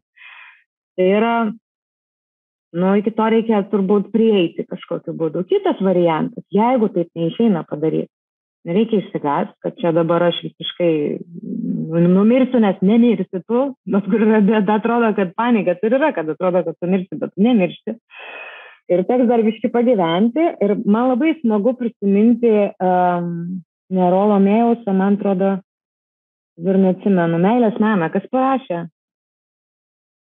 Neatsimenu. Uh, nu, žodžiu, ten buvo taip, kad meilė skaidasi į tris paprastus dalykus. Kaip išmokti mylėti? Tai yra žinios, jų pritaikymas ir meistriškumas. Ir man labai patinka loginės schemos. Nes jeigu tu per smegenis priimi pasaulį ir tu savo sugebi save įtikinti, kad šita schema tau yra atpažįstama ir jinai veikia, tu tą veikiančią schemą gali pritaikyti absoliučiai daugelį situacijų. Ir, pavyzdžiui, meilę analizuoti per loginę struktūrą man, nu, šiaip toks, nu, gal, aišku, senas tas jau pasakymas yra, bet man tai buvo nauja, nes man atrodo, ai, tai kažkas nesuvokiama, kažkas, kas tvyro ore, tai yra tai, tai, kas prasideda po to, kai baigėsi žodžiai ir panašiai. Ir pasirodo, visiškai gali būti ir kitas prieimas. Tai šiuo atveju baime gali būti sumažinama žiniomis, ką aš ir padariau, aš tiesiog išanalizuoju savo situaciją, kas man padėjo. Tai yra domėjimasis to, kas vyksta, nepaisant to, kad aš bijau, nes nežinia yra dar baisiau, ar ne, tu pasidarė nežinia ir žinojimas. Nu gerai, renkuosi žinojimą, kas bebūtų. Tada info atsirinkinėjimas kažkoks, nes labai daugelis žinių aš siūlau tiesiog žiūrint žinias, pajausti. Aš kadangi baigu žurnalistiką, tai aš žinau, kad geltonoji spauda visą laiką yra labai emocionalizuota. Ir tai kai kas yra įvykiai, o kai kas yra įvykiai, kurie daro poveikį tavo vidiniai būsenai, kad tu toliau perskaitytum ir dar pasidomėtum. Žinoma, tai yra visas konteksto išmanimas. Jūs matot, kaip šita situacija yra realiai didelio gyvenimo, maža, maža, koncentruota kažkokia fazė, kurioje galima atpažinti visus svarbiausius gyvenimo visus elementus. Ir žinoma, informacijos saiką. Tai va saiko galim išmokti, pagalvoję apie savo atžalas apie vaikus, nes vaikams tikrai nereikia visko žinoti ir mes, pavyzdžiui, su sunumi esame sutarę, kad aš skaitau viską, aš domiuosi visais dalykais, kas yra nauja ir panašiai, ir aš jam persakau tai, ką jam galbūt vertėtų žinoti. Pavyzdžiui, tai, kad ukrainiečiai atstovėjo dar vieną naktį. Um, tada toliau, antras dalykas, tai būtų taikymas, tai nusiraminimas. Tai nusiraminimas ateina nuo žinojimo kai kuriems žmonėms arba mm, tiesiog atskirimo to, kas nuo tavęs priklauso ir to, kas nuo tavęs nepriklauso. Tai nuo manęs nepriklauso kas. Aš negaliu imti ginklo ir eiti į Ukrainą, nes aš esu moteris, turiu savo atsakomybę, turiu savo darbą. Ir aš Ukrainai ten nueidama patrukdysiu truputėlį, man atrodo, o ne padėsiu. Aš galiu daryti tai, kas nuo manęs priklauso ir ką aš galiu ir moku daryti geriausiai. Tai va siūlau šitą poziciją visiems, kuriems neramu, prisiminti kiekvieną dieną ką aš galiu padaryti, ko aš negaliu padaryti, atskirti tos dalykus ir daryti tai, ką gali ir moki geriausiai. Tai mano atveju yra vaiko auginimas, kasdienių visokiausių dalykų prižiūrėjimas namų, kad nesugriūtų namai kita prasme, o ne, o ne ta fizinė prasme, tada yra sužiūrėjimas, ar, ar aplinkui nėra nerimaujančių. Nes žymiai yra lengviau pačiam nusiraminti, kai tu žinai, kad tu turi turėti pakankamai daug jėgos vidinės tam, kad perduoti tą jėgą ir ramybę kitam žmogui, kuris gal mažesnis yra šalia. Ir man labai patiko Olgos pasakymas, kad ne visą laiką reikia viską sakyti. Ir aš dabar galvoju, kažkaip galvojau, kad ne, nesulauksiu aš palaikymo iš, iš, iš žmonių už, už tą poziciją, bet aš neskubėjau rėkti pačią pirmą dieną apie tai, kaip man dabar jau atrodo. Bet labai svarbu duoti savo pakankamai laiko išbūti savo būsenas, tas giliasias, va tamsiasias, tai aišku yra baisu, bet jeigu mes jas išsemiam iki galo, mes tada natūraliai organizmas taip sudėtas, pabuvom tenai ir išeinam į kitą etapą, į kitą lygį, nueinam į kitą būseną, bet jeigu mes jos neišbūnam tos būsenos, užsikraunam kažkokiais darbeliais, kad tik apie tai negalvotumėm. Tai tada mes neišeinam iš tos būsenos ir jinai lieka su mumis kiekvieną dieną nuo pat ketvirtadienio iki nedaug dievę pat gyvenimo pabaigos, nes tai tampa įpročiu. Ir dėl to aš rašau kiekvieną dieną, nu, gerai, melagė Jurga, stop, kiekvieną dieną nerašau, bet prirašius esu nemažai ir galėčiau sakyti, kad jeigu viską padalint po puslapėlį, tai kiekvienai dienai po puslapį tikrai būtų dienoraščio. Nes smegenys yra labai apgaulingos, bent jau mano smegenys, nes nesu galbūt užaugusi tokiom paprastom ir tvarkingom, teisingom taisyklėm šeimos. Nes esu ketvirtas vaikas šeimoje, mano tėtis buvo išsiuntas į Sibirą, brolis tarnavo kariuomeniai, sesė užaugo Čiurlionkį nuo antros klasės, brolio aš beveik nemačiau, tokia daugiavaisiai šeimoje viena augau, nu, ne, nesuprantamas dalykas. Ir labai labai daug taisyklių iš tikrųjų teko labai nusivilti, kad teks jas pakeisti, nes man sakė, kad, pavyzdžiui, visi žmonės yra geri, kad pinigai yra blogai ir panašiai. Aš man reikėjo labai daug dalykų peržiūrėti gyvenime, kad, kad jisai taptų kažkoks kokybiškas man asmeniškai. Ir um, tos taisyklės, jos visos atvedė prie to supratimo, kad žmogus iš principo jisai yra su savim, turėtų būti, pradžioje galima pasiskaidyti save į dvi dalis ir sakyti, labas Jurga, kažkada aš nekėjausi su savim ir labai padėdavo. Tam, kad suprastum, kad tas vidinis tu esi galbūt neišgirstas ir serga žmogus tada, kai jisai yra perlenkęs lasdą ir labai ilgai savęs negirdėjo, kai jam buvo sakoma. Kitas dalykas, kad turėtum kažkokį supratimą, kaip čia elgtis dabartiniai situacijai, tu turi turėti galbūt neuždarytą savo vidinę nuojautą. O vidinė nuojauta pas mus labai gražiai vaikystėje kartais tėvai slapindavo, nes jie sakydavo, nu ką čia dabar, susi, susidėliok, kodėl toks liūdnas, ko čia dabar reikia, tiliau ir, ir panašiai. Tai aš netgi turėjau tokį kalbėjimo būdą, kad aš pradedu šnekėti, jeigu į mane atsisuka žmogus, aš taip tilstu, tilstu ir palendu pas stalą. Tai labai jokinga. Jeigu būtų animacija, tai žmogus sumažėja ir dingsta iš viso. Tai mano viena didžiausia baimė buvo išnykti, kurią aš dar turbūt turėsiu susitvarkyti, kad išnykčiau nebijodama išnykti kada nors pabaigoje. Ir va ta va kalbėjimas, nuomonė, pozicija, nu ją turi tik tai žmogus, kuris yra susiradęs save. Nu, tai yra labai sudėtinga. Tai yra jau pačiam gale, jau kai viskas ten gerai, tai tada vatini ir pasakai tą nuomonę. Bet dabar yra baisoka, ne? Nu, kaip minimum, neaiški situacija, neaišku, kas bus toliau, mes nelabai turime ką kabinti ir sakyti savo nuomonę tada, kai tu neturi į ką nors kabintis, nes tau labai didelė įtaka galbūt išorinis pasaulis darė. Yra labai sudėtinga ir tu tiesiog lepteli tai, ką girdėjai aplinkui. Jeigu tu turi vidinį balansą, kartais tikrai nori tiesiog duoti savo daugiau erdvės, daugiau laiko ir suprasti, o tai kaip man yra. Siūlau užduoti vis, visiems šitą klausimą, kaip aš jaučiuosi šitoje situacijoje. Ar aš dabar bijau, pavyzdžiui, dabar, va šitą sekundę, Alina, Nijolė, kas čia dar palauk, tu aš jūs pagaudysiu čia, Agne, Regina, Vaiva, Audronė, Tomai, Deimantė, wake up. Kaip jūs dabar jaučiatės, ar jūs tikrai va dabar šią sekundę bijot? Pavyzdys, mano draugė sako, tu, nu tai papasako, kokios tavo baimės didžiausios. Sako, aš labai šunų bijau. Tu dabar bijai šunų? Jo, sako, bijau. Sakau, ugne. Dabar šunų aplinkui nėra ir tu bijai šunų. Nu, savo dabar šią sekundę, tai nebijau. Sakau, tai tu nebijai šunų. Ir jinai taip žiūri, sako, eik tu savo, čia kažkoks smegenų apvertimas. Bet jai tai padėjo ir jinai manau, kad kai susitiks šunį, gal pagalvos, o aš ką tik bijojau to šuns, ar galbūt aš kaip tas mėgstu labai asociacijų papasakoti, kaip tas daugiametis augalas ir nebaimė pradžioje būna, kiekvienais metais jis atsigauna ir tu net nespėjai, žinai, jau, jau ten pailsėjai biškirinai vėl pražįsta ten visais savo blogais žiedais ir skleidžia nuodus aplinkui ir panašiai. Ir tu dėkit negali nuo jos pabėgti kažkoks drakonas ataugančiom galvom. Tada tu patiki, kad tai yra taip, okei, okay, drakonas ataugančios galvos, viską nuodai eina, bet tai yra dvimetis augalas, tarkim, ne? jau įdomu, jau schema, man iš karto veikia. Jau ir šiandien, kai sugalvojau, tai labai džiaugiausi, tik nežinojau, kad šiandien teks vakare pritaikyti. tai va, dvi metus augalas yra koks. Taip paveikia du metus ir, ir realiai nebeturi funkcijos savo netenka. O yra dar vienmečiai augalai, kurie yra tik tai vienų metų ilgumo. Ir mūsų ta baime realiai priklauso nuo mūsų pasirinkimo, ar mes ją išauginsim forever young, visam gyvenimui savo, užsidėsim. Ir tam aš ir rašau dienoraštį, kad tiesiog tenai logiškai savęs paklausčiau ir tau atsakyčiau, ar baimė šita yra man reikalinga. Ir ką jinai man duoda.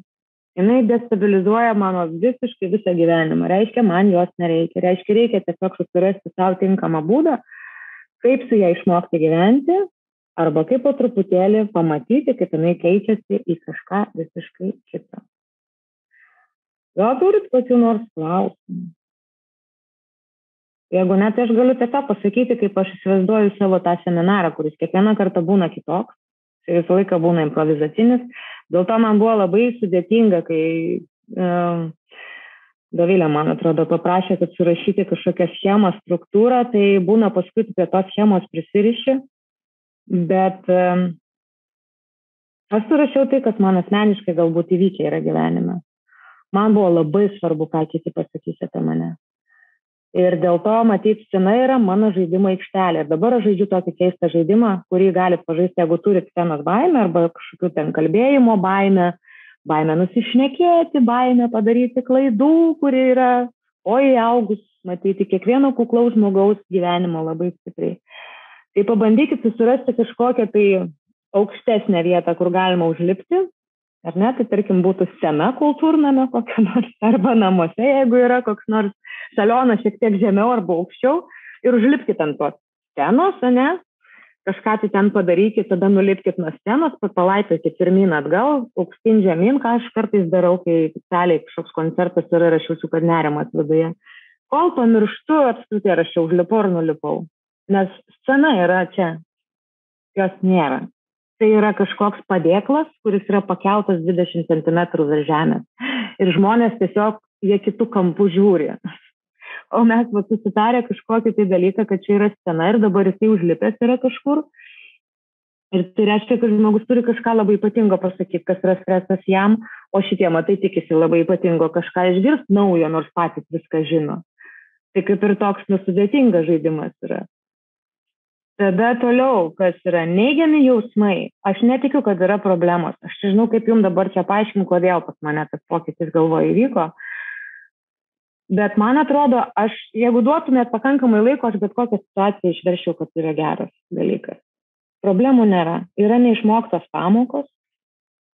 Ir, pavyzdžiui, skirybos man buvo didžiausia pamoka, o dieve, kokio dydžio problema tai atrodė pradžioje ir kaip aš jos nenorėjau. Sceninis gyvenimas, kuris atrodė pradžioj labai ten nuostabus, spalvotas ir panašiai, ir tas populiarumas užplūręs, kurio aš visiškai neplanavau ir man jo turbūt ir nereikėjo ir kuris mane labai sulaužė, tiesą sakant. Tai buvo didžiausia pamoka, kuri prie nuoširdumo atvedė. kas dar, plaukti, e, pradėjau mokytis, kad nebijočiau, kai dugno papačio nėra, dabar galvoju, darysiu kelionę kokią nors va ir į aukštinę gyrę gal nuvažiuosiu, mindaugas bus po manęs, kiek mačiau. Tai tiesiog per Lietuvos ežerų pakrantės važiuosiu ir žiūrėsiu, kur ten nuo vieno kranto iki kito taip pakankamai logiškai, kad, kad galima su swimsuitu, su to hidrokostiumu perplaukti ir gal tokią kelionę savo susigalvosiu. Jau matot, kaip pasikeitė planai problemų nėra. Ir kaip požiūrio kampas gali pagerinti gyvenimo kokybę. Nu, tai čia yra didžiausias atradimas man per skirybas turbūt atėjęs. Viskas pradėjo spręstis viduje tada, kai aš pradėjau nebežiūrėti save, ne, palauk, kaip atvirkščiai, kai pradėjau nebežiūrėti į tai, kaip neteisingai su manim pasielgia gyvenimas ir kitas žmogus, o ką tai atspindėjo ir kodėl mane erzino kažkas aplinkui, ką aš turiu išspręsti savo viduje. Ir aš supratau, kad esu perfekcionistė, kad kiti žmonės man atrodo netobuli vien dėl to, kad savo niekada negaliu leisti suklysti. Ir dėl to man didžiausia pamoka yra priimti žmogų su jo klaida. Ir nu, aš stengiuosi prisiminti, kai tik tai ateina žmogus iškerzinantis mane, aš stengiuosi priimti ir kartais užčiaupti tą vidinį, nenori suktis eiti, kažkaip, nebent yra energetinis vampyras, tada nebūnu šalia, nes tiesiog laiko gaila ten žmogui neaišku, ko reikia, jis pats to nežino ir matyt gal niekad nesužinos. Tai šalia tokių stengiuosi nebebūti. Nežinau, aš galėčiau šnekėti, šnekėti, tai stabdykit mane, jeigu ką. Va, kodėl erzina kitų žmonių neigiamos savybės. Tai kaip ir bus irgi tenai pašnekėta. Apie dienoraščio rašymą aš turiu ką pasakyti, nes rašiau metus laiko ir ten buvo visa kelionė. Ir manau, kad jis yra privalomas. Kažkuriam etape žmogaus gyvenimo pradėti fiksuoti savo mintis kažkodėl ranka, tu pradedi jausti, mintis susijungia su jausmais, aš pati atsakiau dabar ką tik tam, ko paklausiau prieš tai Lauriną. Kaip sujungti mintis su jausmais, tai vienas tiesiausių kelių yra parašyti. Ir pamatyti, o Dieve, kaip keista, kad atrodė, kad vienas dalykas viduje, o iš tikrųjų visiškai trečias dalykas, net ne antras. Tai va. Ačiū, Jurga, už pasidalinimą ir labai laukiu jūsų paskaitos. Įsivaizduoju, tikrai bus labai jautri, labai švelni ir tokia gan tiesi kelionė į save, nes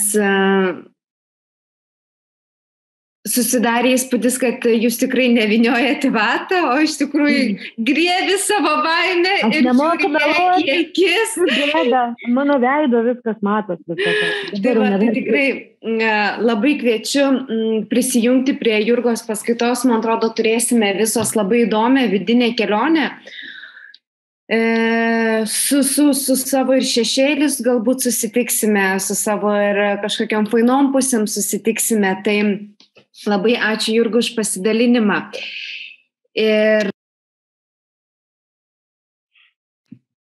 Jeigu turėsite klausimus, tai tikrai juos galite dar kažkur pas save užsirašyti užrašuose arba parašyti į čia esantį čatą. Ir mes po to turėsime dar šiek tiek laiko juos atsakyti, o dabar labai noriu pakviesti paskutinį šio vakaro pranešėją, e, Mindaugą Vidugirį. Ir Mindaugas yra krizių valdymo, asmeninio tobulėjimo ir lyderytės specialistas, unikalių iniciatyvų kaip Masters of Calm festivalio ir Vatansų stovyklų organizatorius bei patirtinių mokymų ekspertas. Ir Mindaugas pasidalins, kur slypi komandos sėkmė, kaip sukurti pasitikėjimų ir e, atvirumų paremtą ryšį ir greičiau pasiekti bendrų tikslų. Ir, Mindaugo, ir susitikimai su Mindaugo visada būna labai patiriminiai. Tai Tai pasižiūrėsim, ką šį vakarą Mindaugas sugalvojo. Labas vakaras. Labas vakaras. Labas visiems, ką pažįstu, ką nepažįstu. Labas Ilga. nu, tai turim 15 minučių, ne? Tai vat, jo, buvau čia pristatytas, kaip, iš tikrųjų, tai jeigu dviem žodžiais, tai visko, ką aš užsiemu, ko aš užsiemu, ką aš darau gyvenime, tai padedu tiek komandom, tiek žmonėm prisiminti, kas yra pasitikėjimas, kas yra pažydžiamumas kas yra tiesa, kaip patogu ir nepatogu joje gyventi. Daugiau nieko nedarau. Tai žiūrėkit, kaip mes padarom, kadangi daug laiko nėra, Mm, aš truputėlį tik pasakysiu, galvoju, kaip čia pasakyti, o ką aš veiksiu čia, va šitam kurse. Vat kaip, nu kaip pasakyti. Mm. Tai aš net sukūriau kelis sakinius, galvoju, vat pasakysiu, kad mano tikslas šitam kursė yra nepravesti ne kažko išmokyti, o padėti jums užbaigti sėkmingai kursą. padėti sėkmingai užbaigti kursą, kad būtų aiškus rezultatas, išsineštumėt bent vieną naują pažintį arba draugę ir atrastumėt biškai platesnį um, žmonių ratą ir išeitumėt iš už to rato ribų, kuriame esate šiandien. Jame yra patogu, bet uh, visada yra smagu ir sveika atrasti naujų žmonių, kurie gali būti ne ką, įdomės, ne ką prašiau įdomus negu uh, žmonės, kurie jūs supa. Tai va ir viskas. O dabar e, padarom taip. Nori nepatogių klausimų. Asmeninių keistų, kvailų, naglų. Nori nepatogių klausimų. Man patogus ir mėly ir miau miau nepatinka. Neatsakysiu. Ar aš bijau karo? Ne. Nebijau karo, nes kol kas galiu sauliaisti nebijot karo, nes karo nėra Lietuvoje. Mm, kai yra tokia situacija, aš pasakysiu taip, mes 14 metais su savo komandos susėdom, pasikvietėm specialistą iš, iš, iš kariuomenės ir mums paaiškino, kaip reikėtų taikiu metu laikytis, ką turėti su savimi, kaip elgtis, kaip būti pasiruošus ir taip toliau. Tai aš manau, kad aš esu padaręs absoliučiai viską, kas yra įmanoma mano rankoms ir, ir mano gebėjimams ir aplinkybėms, kurias aš turiu. O bijoti, nu, kažkaip nėra prasmės tada. Ko bijau? Jo, čia va, Jurga sakė apie šunį. Šunų bijau. Dabar nebijau, bet šiaip žiauriai bijau. Didelių šunų. Kai pamatau didelį šunį paleistą, kapiec, galiu numirti iš baimės. Labai nepatinka didelis šunis. Mm, taip, ir aukščio bijau, ja, todėl nelipu labai aukštai. Mm, nu, tu prasme, nelipu aukštai turiu minį, neieško būdo, kaip, kaip save išbandyti ten aukštį ar dar kažkaip. Tai man gerai su tom baimėm, aš jas pažįstu, jas žinau ir man ok. Su šunimis jaučiu, kad reikės šį beitą padaryti, jau turiu minčių, kaip čia man viškai sumažinta. Ateina nuo vaikystės, nepatinka. Kada tapsi švietimo ministru, ne šitam gyvenime. Šitas mano noras, užgaida, ego troškimas yra praėjęs Aš nusprendęs esu gyvenime daryti dalykus ten, kur mano rankos pasiekia ir kur nėra pasipriešinimo, o kur yra pritarimas. Ir neiti nesikauti su žmonėm, bandant uh, įteikti tai, ko žmonėms nereikia. Tai aš veikiu savo kiemę ir man to kiemo yra va, sočiai. Man daugiau nelabai ir norisi. Tikrai to užtenka. Didžiausia gyvenimo transformacija, kurią esate matęs, patyręs, kas tai lėmė. Aš neturiu didžiausios gyvenimo transformacijos. Aš turiu jų tiek daug, kad man atrodo, kiekvienais metais kažkokią transformaciją patiriu. Paskutiniu metu nebepatiriu tokių transformacijų dramatiškų, kaip patirdavau anksčiau, bet jų buvo beveik kiek daug. Avarijos, ten vaikų gimimas, visos nesėkmės versle ir asmeniam gyvenime. Nu, kad, nu, nu, ne, nežinau, nuo ko pradėti, tikrai daug jų buvo, tų e, transformacijos. Nu, susideda, kaip pasakyti, gali pasakyti, kad viena didelė transformacija, bet jų yra daug paprastai. Ir viena kažkokia, kuri būtų lėmusi kažką labiausiai, nežinau, ar yra tokia. Ar bijai, kad būsi neįdomus susirinkusiems? Aš nebūsiu neįdomus, pažadu jum. aš būsiu labai įdomus, labai užknisantis, labai nepatogus, labai kitoks, negu kad galite įsivaizduoti. Šitą aš jums pažadu. Jurga, gali pat, patvirtinti arba ne. mhm. Ar laistai gėlės? Ne, nelaistam. Man žmona neleidžia laisti gėlių, todėl aš jų neliečiu. Ką patartum paaugliui, kuriam trūksta pasitikėjimo savo jėgomis, kuris neturi savo ašies, krypties ir hobio? Vieną paprastą dalyką. Jeigu tai yra berniukas, ieškoti pavyzdžio, suaugusio, vyresnio pavyzdžio, kuris, kurio tu norėtum būti, į ką norėtum būti panašus. O mamoms patarčiau surasti tokį pavyzdį. Į kurį vaikai galėtų atsiremti, paaugliai galėtų atsiremti ir, ir žinoti, kad pasaulis nėra sudarytas tik iš blogų žmonių. Ir kad ne tik blogiems žmonėms seka šitam gyvenimui.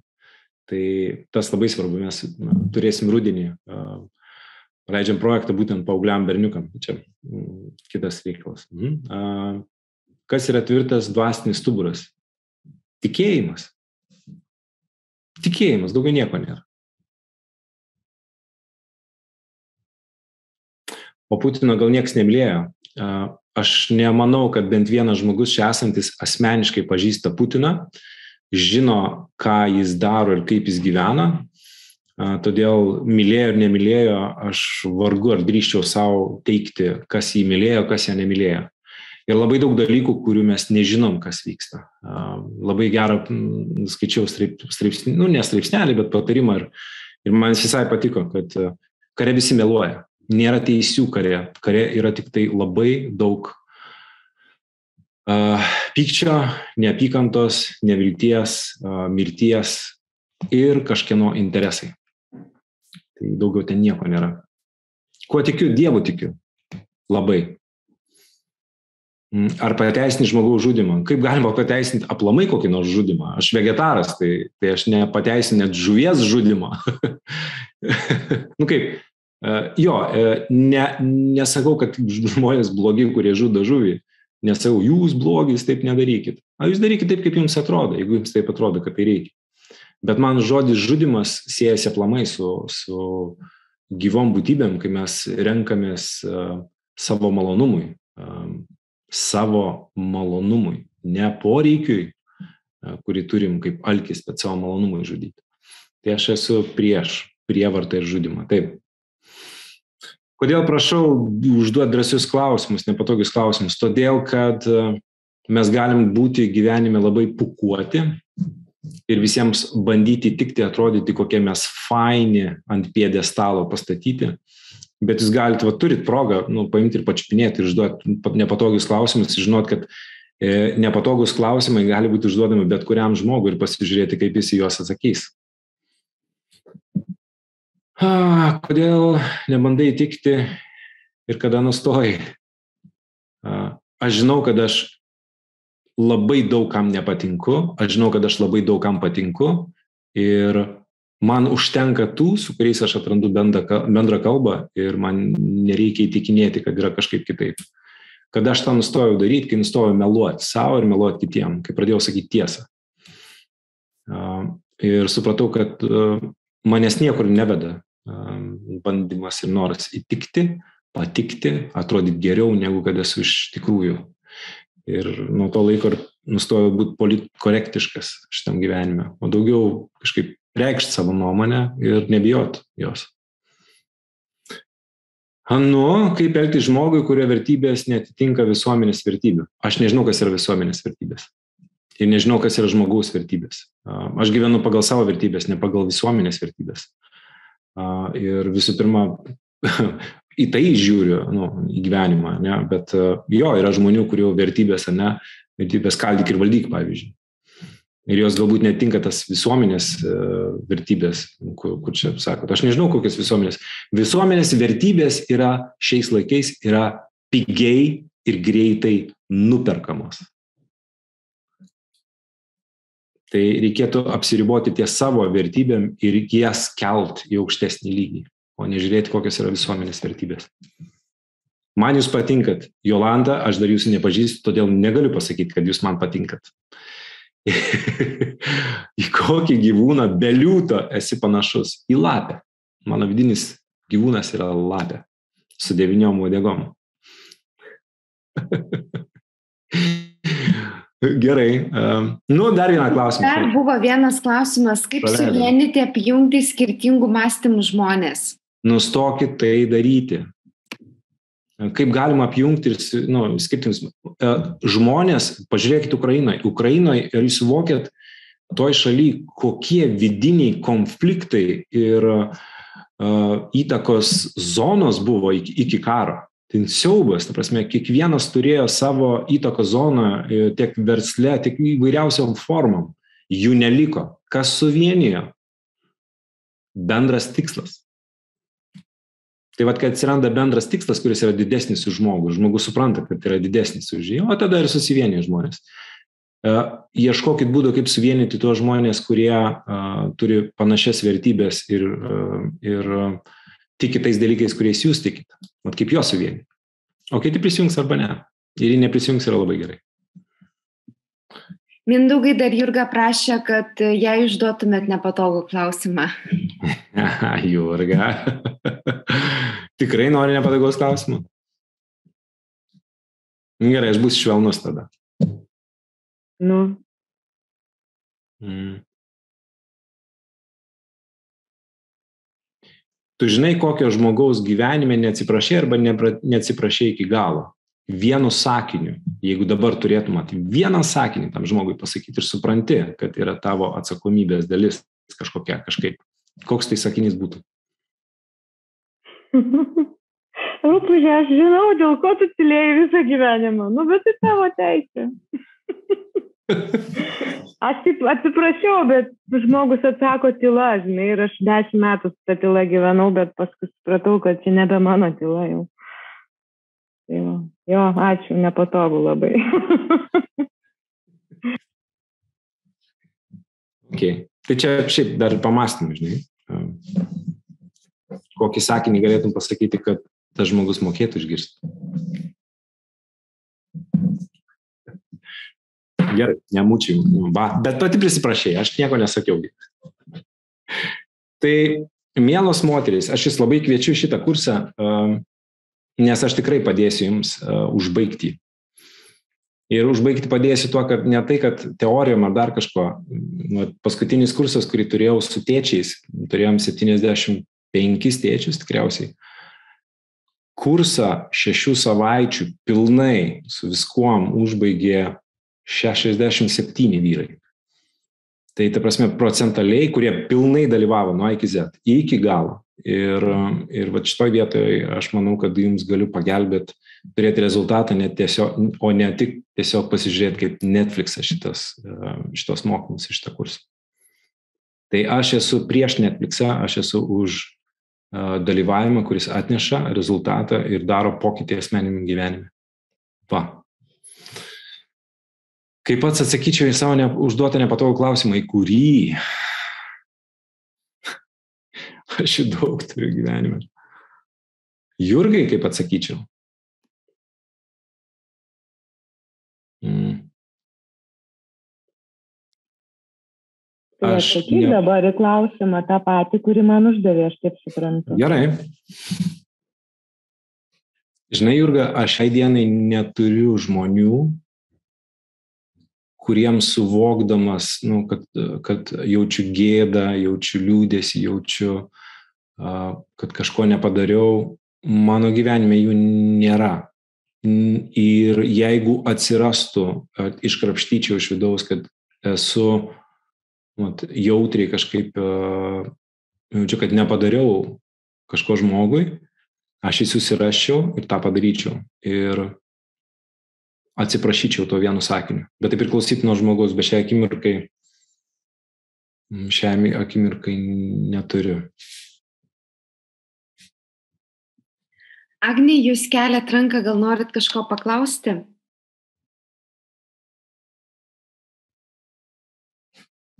Gerai, kad nematau. Agne? Gal mojuoja, sako. Majavo. Taip, Agnė mojavo. Gerai, tai va, tai ar aišku apie ką, ką kokia mano uh, misija ir užduotis, nes mes su, su, su WOW visą Hebrą kažkaip kalbėjom, uh, kuo aš galiu būti naudingas šitam kursui, ne, ne tik tai kažkokiam mm, paskaitom ar, ar patyrimais ar dar kažko, bet iš tikrųjų padėti, uh, jo, padėti užbaigti kursą, padėti, padėti rasti savyje drąsos, ne, net nebūti pasyvių stebėtojų. Mm. Bet aš tik tai noriu dar pasakyti, kad e, Mindaug, e, Mindaugas nebus tik tai kurso pabaigoje, jis bus nuo pat pradžių iki pat galo, absoliučiai viso kurso metu. Visas tas 13 savaičių lydės kurso studentės ir padės joms e, dar geriau susibendrauti, dar geriau pažinti save, įvykti iššūkius, ir atšvesti, atšvesti tą, tos laimėjimus. Tai jo. tikrai mes, mes, mes busim draugijoje su Mindaugu nuo pat pradžių iki pat galo. Tai jeigu įsikelsit kažkokius tikslus, tai tikiu, kad tikrai juos ir gyvendinsit. Jeigu dar turit kažkokių tai klausimų šio vakaro pranešėjams, tai tikrai galite dabar užduoti. Jeigu neklystų, vienas klausimas buvo dedikuotas Laurinai. Aš to pabandysiu jį surasti.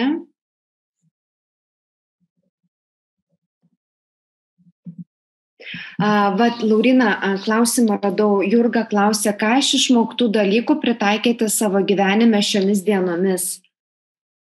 Na, visų pirma, čia nėra toks išmoktas dalykas, čia yra tiesiog dar viena linzė, per kurią tu apskritai pradedi matyti pasaulį. Tai toks truputėlį nu, savotiškas paralelinės realybės jausmas, gal sakysim, čia gal per garsiai pasakyta, bet tiesiog tu pradedi suprasti, kas vyksta su tavim, kas vyksta su žmonėm aplink tave, tu pradedi suprasti, kas vyksta su o, žmonėm, kurie šiuo metu yra nu, masėje kažkokioj tai. Ir kai tu pradedi iš per tą prizmę stebėti viską, kas aplink tave vyksta, labai pradedi būti jautrus tam, ką prileisti prie savęs, įskaitant ir žinias, ir naujienas, ir kitų žmonių emocinės išraiškas, kurie uh, prisižiūri daug visokio informacinio šlamšto, įkrenta į tam tikras būsenas, tada nemoka su tom būsenom susidoroti ir tada tas būsenas, nu, kaip ir ištransliuoja tau, tu ten toks savotiškas nu, šiukšlynė kitų žmonių emocinių išraiškų. Tas labai jaučiasi mokykloje, nes vaikai iš tikrųjų yra lakmuso papirėliai to, kas vyksta aplink ir to, kas vyksta jų šeimose ir kaip jie iš tikrųjų nesugeba susidoroti su tom emocijom, kurias atsineša iš namų ir tada prat, kalbame su pedagogais, kad bent jau jie nekeltų įtampą, bent jau jie, kad nekalbėtų tam tikrų dalykų, bent jau jie, kad padėtų vaikam galvoti apie gėrį, apie grožį, apie tai, kad jie turės sukurti pasaulį, kuris galbūt toksai jau nebebus. Tai tiesiog iš kito kampo pradedi viską matyti ir saugoti save ir savo aplinką. Na, kai tu atpažįsti, kas tave veikia ir veikia neigiamai, gali padėti savo apsisaugoti nuo to ir tiesiog būti sveikesnis, laimingesnis nu, mėgautis gyvenimu šiaip, nes jis yra žiūri fainas. Ačiū labai, Laurina. Um, nežinau, galbūt Jurga, uh, Mindauga arba kažkuris iš jūsų norėsit pakomentuoti. Buvo vienas pasidalinimas, tikiuosi, Kristina nesupyks, jeigu aš jį garsiai paskaitysiu, bet mane labai palėtė, nes galvoju, gal panašioje situacijoje yra ir daugiau moterų, kad ieškau naujos uh, motivacijos toliau gyventi ir daug pokyčių gyvenime privedė prie naujos bedugnės. Ir aš manau, kad šiuo metu tikrai ne viena Kristina taip jaučiasi ir nežinau, galbūt kažkokią mini refleksiją norėsit pasidalinti. Refleksija?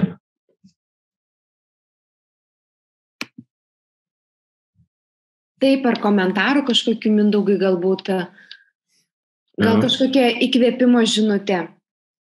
Viena paprasta įkvėpimo žinutė. O dabar, jei nu, tas žmogus girdi, reikėtų padaryti 20 pritupimų. Rytoj vėl 20. O poryt gal 21. Yra dalykai, kuriuos mes galim padaryti ir kur negalim padaryti. Netgi kai nėra vilties, galim truputėlį darbinti kūną ir jis labai dažnai padeda. Man yra padėję ne kartą. Netgi kai esu buvęs depresijoje, pritupimui. Praseit. Praseit tol, kol kojas nukris. Duoti apkrovą kūnui. Nes buvimas vienoj vietoj užsidarimas ir užsisėdėjimas, jis, nu, jis turi savo pasiekmes. Ir visų pirma fizinė. Jeigu, jeigu fizinės apkrovos nėra jokios, tai tada mintim ir, ir protui vietos yra kur kas daugiau. Ačiū labai. Ir gal jūs dar norėsite? Jo, trumpai. nuo savęs. Noriu kreiptis į draugus tų žmonių, nes iš tikrųjų galima žmogų tiesiog pabandyti vestis vaikščioti. Nes tai yra ir draugystė, tas pats paėmimas už rankos, kažkiek ta motivacija ir palaikymas, kurio irgi būna, kad trūksta. Tai jau tuos atsispaudimus daryti yra šiek tiek lengviau, kai atsispaudimus darantis Mindaugas pasako, tu daryk atsispaudimus. O kitas dalykas, kas man asmeniškai labai buvo keista, nuostabu ir neįtikėtina, tai kad aš tada, kai žinojau, kaip jau reikia gyventi, atėjau pas savo psichologą, psichoterapeutą ir sakau, man e, įdomu, kodėl aš tos sapnus pasikartojančius sapnuoju. Sako, sakau, jūs čia toks sapnu aiškintojas, sakė, esat, pagal ten jungą kažkaip. Ir baigėsi pokalbis tuo, kad ir ribos įvyko mano gyvenime. Tai aš tiesiog nežinojau, kur aš esu. Tai aš manau, kad depresija yra nutolimo nuo savęs būsena, kur galima tiesiog pasižiūrėti į tai, kad yra kelias link savęs ir reikia jį pabandyti surasti vienaip arba kitaip. Jeigu per sunku, pirmas galbūt žingsnis galėtų būti įvardinti savo, man per sunku ir kreiptis pagalbos pas specialistą. Jeigu netinka vienas specialistas, būti savigarboje aukšto ir kreiptis į antrą. Kažkuris tiks. Ačiū labai Jurga už pasidalinimą. Ar dar turite dalyvės klausimų? Mes dar galime skirti vieną, dvi minutės. Pasinaudokit progą ir tikrai užduokit klausimą. Rūta klausė, ar galima bus dar kartą peržiūrėti šį seminarą. Taip, rytoj mes atsiūsime jums šio vakaro įrašą ir jūs jį galėsit peržiūrėti.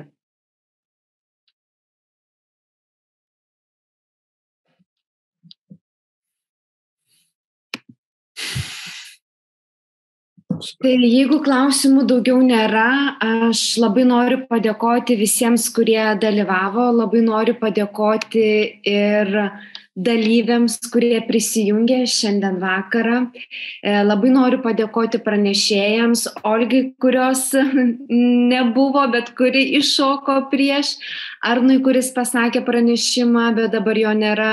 Labai noriu padėkoti Laurinai, Jurgai ir Mindaugui, kurie vis dar čia yra.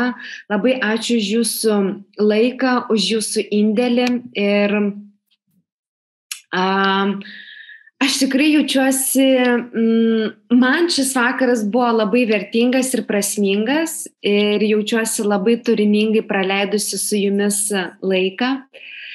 Ir gavau tiek naudingos informacijos, tiek įkvepiančios informacijos, kuri, nežinau, jaučiu, pažadino manyje energiją kažką veikti, kažką daryti ir kartu labai praktiškos informacijos, kur atrodo, lik ir nes, to, ne, nesi tokiam rūke, bet lik ir žinai, kur eiti. Ir tikrai labai kviečiu visus čia susirinkusias nuo kovo 22 dienos leistis kartu į 13 savaičių kelionę, kurioje mes eisime per svarbiausius ateities įgūdžius su net 15 nuostabių lektorių ir Mindaugų vidugirių, kuris lydės viso kurso metu, tai tikrai labai labai kviečiu prisijungti. Rytoj taip pat atsiūsime jums laiškelį su daugiau informacijos ir labai labai patrauklių pasiūlymų. Tai tikrai nepraleiskite to laiškelio, atsidarykit jį, paskaitykit ir dar kartą noriu padėkoti visiems susirinkusiems. Ir linkiu gražiaus ir ramaus vakaro. Ačiū Jums. Viso, iki.